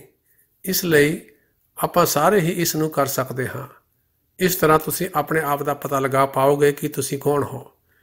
ਇਹ ਤੁਸੀਂ ਕੇਵਲ ਬੈਠੇ ਕਿਤਾਬਾਂ ਪੜ੍ਹਨ ਨਾਲ ਅਤੇ ਇਸ ਬਾਰੇ ਚਰਚਾ ਕਰਨ ਨਾਲ ਨਹੀਂ ਜਾਣ ਸਕਦੇ। ਇਦਾਂ ਸਾਨੂੰ ਕੁਝ ਵੀ ਨਹੀਂ ਪ੍ਰਾਪਤ ਹੁੰਦਾ। ਇਸ ਦਾ ਨਿਸ਼ਚਿਤ ਤੌਰ ਤੇ 100% ਪ੍ਰਮਾਣ ਨਾਲ ਬਿਨਾਂ ਕਿਸੇ ਸ਼ੱਕ ਵਾਲਾ ਅਨੁਭਵ ਕੇਵਲ ਅਭਿਆਸ ਨਾਲ ਹੀ ਆਉਂਦਾ ਹੈ। ਕਿਸੇ ਵੀ ਅਵਸਥਾ ਤੋਂ ਜਾਗਣ ਦਾ ਅਨੁਭਵ ਇੱਕ ਸੁਪਨੇ ਤੋਂ ਜਾਗਣ ਦੇ ਅਨੁਭਵ ਵਰਗਾ ਹੀ ਹੁੰਦਾ ਹੈ। ਸੁਪਨੇ ਤੋਂ ਜਾਗਣ ਦਾ ਅਨੁਭਵ ਹਰ ਵਾਰ 100% ਵਿਸ਼ਵਾਸ ਦਿਵਾਉਂਦਾ ਹੈ ਕਿ ਤੁਸੀਂ ਸਰੀਰਕ ਸਥਿਤੀ ਵਿੱਚ ਜਾਗ ਗਏ ਹੋ। ਤੁਸੀਂ ਕਿੰਨੀ ਵਾਰੀ ਜਾਗ ਸਕਦੇ ਹੋ? ਬਹੁਤ ਵਾਰ। ਇਹ ਕੇਵਲ ਇੱਕ ਵਾਰ ਨਹੀਂ, ਅਸੀਂ ਇੱਕ ਸੁਪਨੇ ਤੋਂ ਜਾਗਣ ਤੋਂ ਬਾਅਦ ਇਸ ਸਥੂਲ ਸਰੀਰ ਸੰਸਾਰ ਵਿੱਚ ਜਾਗਦੇ ਹਾਂ। ਇਸ ਤੋਂ ਅੱਗੇ ਅਸੀਂ ਇੱਕ ਅਜਿਹੀ ਦੁਨੀਆ ਵਿੱਚ ਜਾਗਦੇ ਹਾਂ ਜਿੱਥੇ ਅਸੀਂ ਪਾਉਂਦੇ ਹਾਂ ਕਿ ਸਾਡੀਆਂ ਸਾਰੀਆਂ ਗਿਆਨ ਇੰਦਰੀਆਂ ਜਾਂ ਸੈਂਸ ਪਰਸੈਪਸ਼ਨ ਪੂਰਨ ਬਰਕਰਾਰ ਹਨ। ਸਰੀਰ ਉੱਥੇ ਨਹੀਂ, ਗਿਆਨ ਇੰਦਰੀਆਂ ਉੱਥੇ ਮੌਜੂਦ ਹਨ। ਉਹ ਕਿੱਥੇ ਹਨ? ਅਸੀਂ ਅੰਦਰੂਨੀ ਸਰੀਰ ਨਾਲ ਕਿਵੇਂ ਵੇਖਦੇ ਹਾਂ? ਉਦਾਹਰਨ ਦੇ ਤੌਰ ਤੇ ਅੱਜ ਤੁਸੀਂ ਕਲਪਨਾ ਕਰ ਸਕਦੇ ਹੋ ਕਿ ਤੁਸੀਂ ਆਲੇ ਦੁਆਲੇ ਘੁੰਮ ਰਹੇ ਹੋ। ਬਸ ਇੱਕ ਕਲਪਨਾ ਰਾਹੀਂ ਤੁਸੀਂ ਸੋਚੋ ਕਿ ਤੁਸੀਂ ਮੇਰੇ ਕੋਲ ਆ ਕੇ ਇੱਥੇ ਮੇਰੇ ਨਾਲ ਖੜੇ ਹੋ। ਤੁਸੀਂ ਆਪਣੀ ਕੁਰਸੀ ਛੱਡ ਕੇ ਮੇਰੇ ਕੋਲ ਆ ਗਏ ਹੋ। ਕੌਣ ਖੜਾ ਹੈ ਇੱਥੇ? ਤੁਹਾਡਾ ਕਾਲਪਨਿਕ ਆਪਾ ਜਾਂ ਸੈਲਫ। ਇਹ ਕਿੱਥੋਂ ਆਇਆ? ਉਸੇ ਚੇਤਨਾ ਵਿੱਚੋਂ ਜੋ ਤੁਹਾਡੇ ਅੰਦਰ ਹੈ। ਹੁਣ ਜੇ ਤੁਸੀਂ ਕਲਪਨਾ ਕਰੋ ਕਿ ਤੁਸੀਂ ਇੱਥੇ ਖੜੇ ਹੋ ਅਤੇ ਇਸ ਸਥਾਨ ਤੇ ਧਿਆਨ ਇਕਾਗਰ ਕਰੋ ਕਿ ਮੇਰੇ ਸਾਹਮਣੇ ਹੋ। ਤਵੱਜੋ ਨੂੰ ਇਕੰਨਾ ਇਕਾਗਰ ਕਰੋ ਕਿ ਤੁਸੀਂ ਆਪਣੇ ਆਪ ਨੂੰ ਕੇਵਲ ਇੱਥੇ ਦੇਖਣਾ ਸ਼ੁਰੂ ਕਰ ਦੇਵੋ। ਇਹ ਤੁਹਾਡੇ ਲਈ ਸੱਚ ਬਣ ਜਾਵੇਗਾ ਅਤੇ ਜਿੱਥੇ ਤੁਸੀਂ ਬੈਠੇ ਹੋ ਉਹ ਕਾਲਪਨਿਕ ਬਣ ਜਾਵੇਗਾ। ਇਹ ਸੁਰਤ ਜਾਂ ਤਵੱਜੋ ਦਾ ਅਜਿਹਾ ਹੀ ਖੇਡ ਹੈ। ਅਸੀਂ ਅਹਿਸਾਸ ਨਹੀਂ ਕਰਦੇ ਕਿ ਸਾਡੀ ਤਵੱਜੋ ਹਕੀਕਤ ਦੇ ਸਾਰੇ ਅਨੁਭਵਾਂ ਨੂੰ ਪੈਦਾ ਕਰ ਰਹੀ ਹੈ। ਹੁਣ ਅਸਲੀ ਕੀ ਹੈ? ਅਸਲ ਉਹ ਹੈ ਜਿੱਥੇ ਅਸੀਂ ਆਪਣੀ ਤਵੱਜੋ ਲਗਾਉਂਦੇ ਹਾਂ। ਅਸੀਂ ਆਪਣੀ ਤਵੱਜੋ ਨੂੰ ਬਾਹਰੀ ਦੁਨੀਆ ਵਿੱਚ ਲਗਾਇਆ ਹੋਇਆ ਹੈ ਅਤੇ ਇਸ ਨੂੰ ਅਸਲੀ ਬਣਾ ਦਿੱਤਾ। ਅਸੀਂ ਆਪਣੀ ਤਵੱਜੋ ਨੂੰ ਸਥੂਲ ਸਰੀਰ ਤੇ ਲਗਾ ਕੇ ਇਸ ਨੂੰ ਅਸਲੀ ਬਣਾ ਦਿੱਤਾ। ਇਹ ਤਵੱਜੋ ਦੀ ਹੀ ਖੇਡ ਹੈ। ਇਸ ਲਈ ਅਸੀਂ ਆਪਣੀ ਤਵੱਜੋ ਨੂੰ ਖਿੱਚ ਕੇ ਜਿਉਂਦੇ ਜੀ ਮੌਤ ਦਾ ਅਨੁਭਵ ਕਰ ਸਕਦੇ ਹਾਂ। ਇੱਕ ਛੋਟੀ ਜਿਹੀ ਕਹਾਣੀ ਹੈ ਜਿਸ ਨੂੰ ਮੈਂ ਬਹੁਤ ਪਸੰਦ ਕਰਿਆ ਕਰਦਾ ਸੀ। ਇਹ ਇੱਕ ਤੋਤੇ ਦੀ ਕਹਾਣੀ ਹੈ। ਜਦੋਂ ਛੋਟਾ ਸੀ ਤਾਂ ਮੈਨੂੰ ਤੋਤੇ ਦੀਆਂ ਕਹਾਣੀਆਂ ਬਹੁਤ ਪਸੰਦ ਸਨ। ਮੈਂ ਇਹ ਕਹਾਣੀ ਤੁਹਾਡੇ ਨਾਲ ਸਾਂਝੀ ਕਰਨ ਜਾ ਰਿਹਾ ਹਾਂ। ਤੁਹਾਡੇ ਵਿੱਚੋਂ ਬਹੁਤ ਸਾਰਿਆਂ ਨੇ ਪਹਿਲਾਂ ਵੀ ਸੁਣੀ ਹੋਵੇਗੀ। ਇੱਕ ਵਪਾਰੀ ਸੀ ਜੋ ਭਾਰਤ ਵਿੱਚ ਵਿੱਚ ਆਯਾਤ ਨਿਰਯਾਤ ਜਾਂ ਇੰਪੋਰਟ ਐਕਸਪੋਰਟ ਦਾ ਕੰਮ ਕਰਦਾ ਸੀ, ਜੋ ਭਾਰਤੀ ਰੇਸ਼ਮ ਅਫਰੀਕਾ ਵਿੱਚ ਵੇਚਦਾ ਸੀ ਅਤੇ ਅਫਰੀਕਾ ਤੋਂ ਕਾਜੂ ਅਤੇ ਗਿਰੀਆਂ ਖਰੀਦਦਾ ਸੀ। ਉਹ ਭਾਰਤ ਅਤੇ ਅਫਰੀਕਾ ਵਿਚਾਲੇ ਇੰਪੋਰਟ ਐਕਸਪੋਰਟ ਦਾ ਧੰਦਾ ਕਰਦਾ ਸੀ। ਇੱਕ ਦਿਨ ਜਦੋਂ ਉਹ ਅਫਰੀਕਾ ਦੀ ਯਾਤਰਾ ਕਰ ਰਿਹਾ ਸੀ, ਉਹ ਇੱਕ ਜੰਗਲ ਵਿੱਚੋਂ ਲੰਘ ਰਿਹਾ ਸੀ ਜਿੱਥੇ ਬਹੁਤ ਸਾਰੇ ਤੋਤੇ ਸਨ। ਉਹ ਤੋਤੇ ਬਹੁਤ ਸੁੰਦਰ ਸਨ। ਸੋ ਉਸ ਨੂੰ ਇੱਕ ਤੋਤਾ ਬਹੁਤ ਪਸੰਦ ਆਇਆ। ਉਹ ਇੱਕ ਪਿੰਜਰਾ ਖਰੀਦ ਲਿਆਇਆ ਅਤੇ ਉਸਨੇ ਇੱਕ ਤੋਤੇ ਨੂੰ ਫੜ ਲਿਆ। ਉਸ ਨੂੰ ਪਿੰਜਰੇ ਵਿੱਚ ਪਾ ਕੇ ਭਾਪਰ ਵਾਪਸ ਲੈ ਆਇਆ।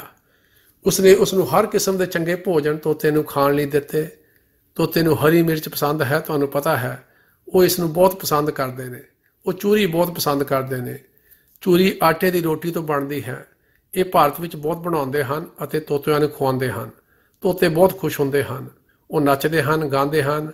ਤੁਸੀਂ ਇਹਨਾਂ ਨੂੰ ਜੋ ਸਿਖਾਓ, ਉਹ ਉਦਾਂ ਹੀ ਬੋਲਦੇ ਹਨ।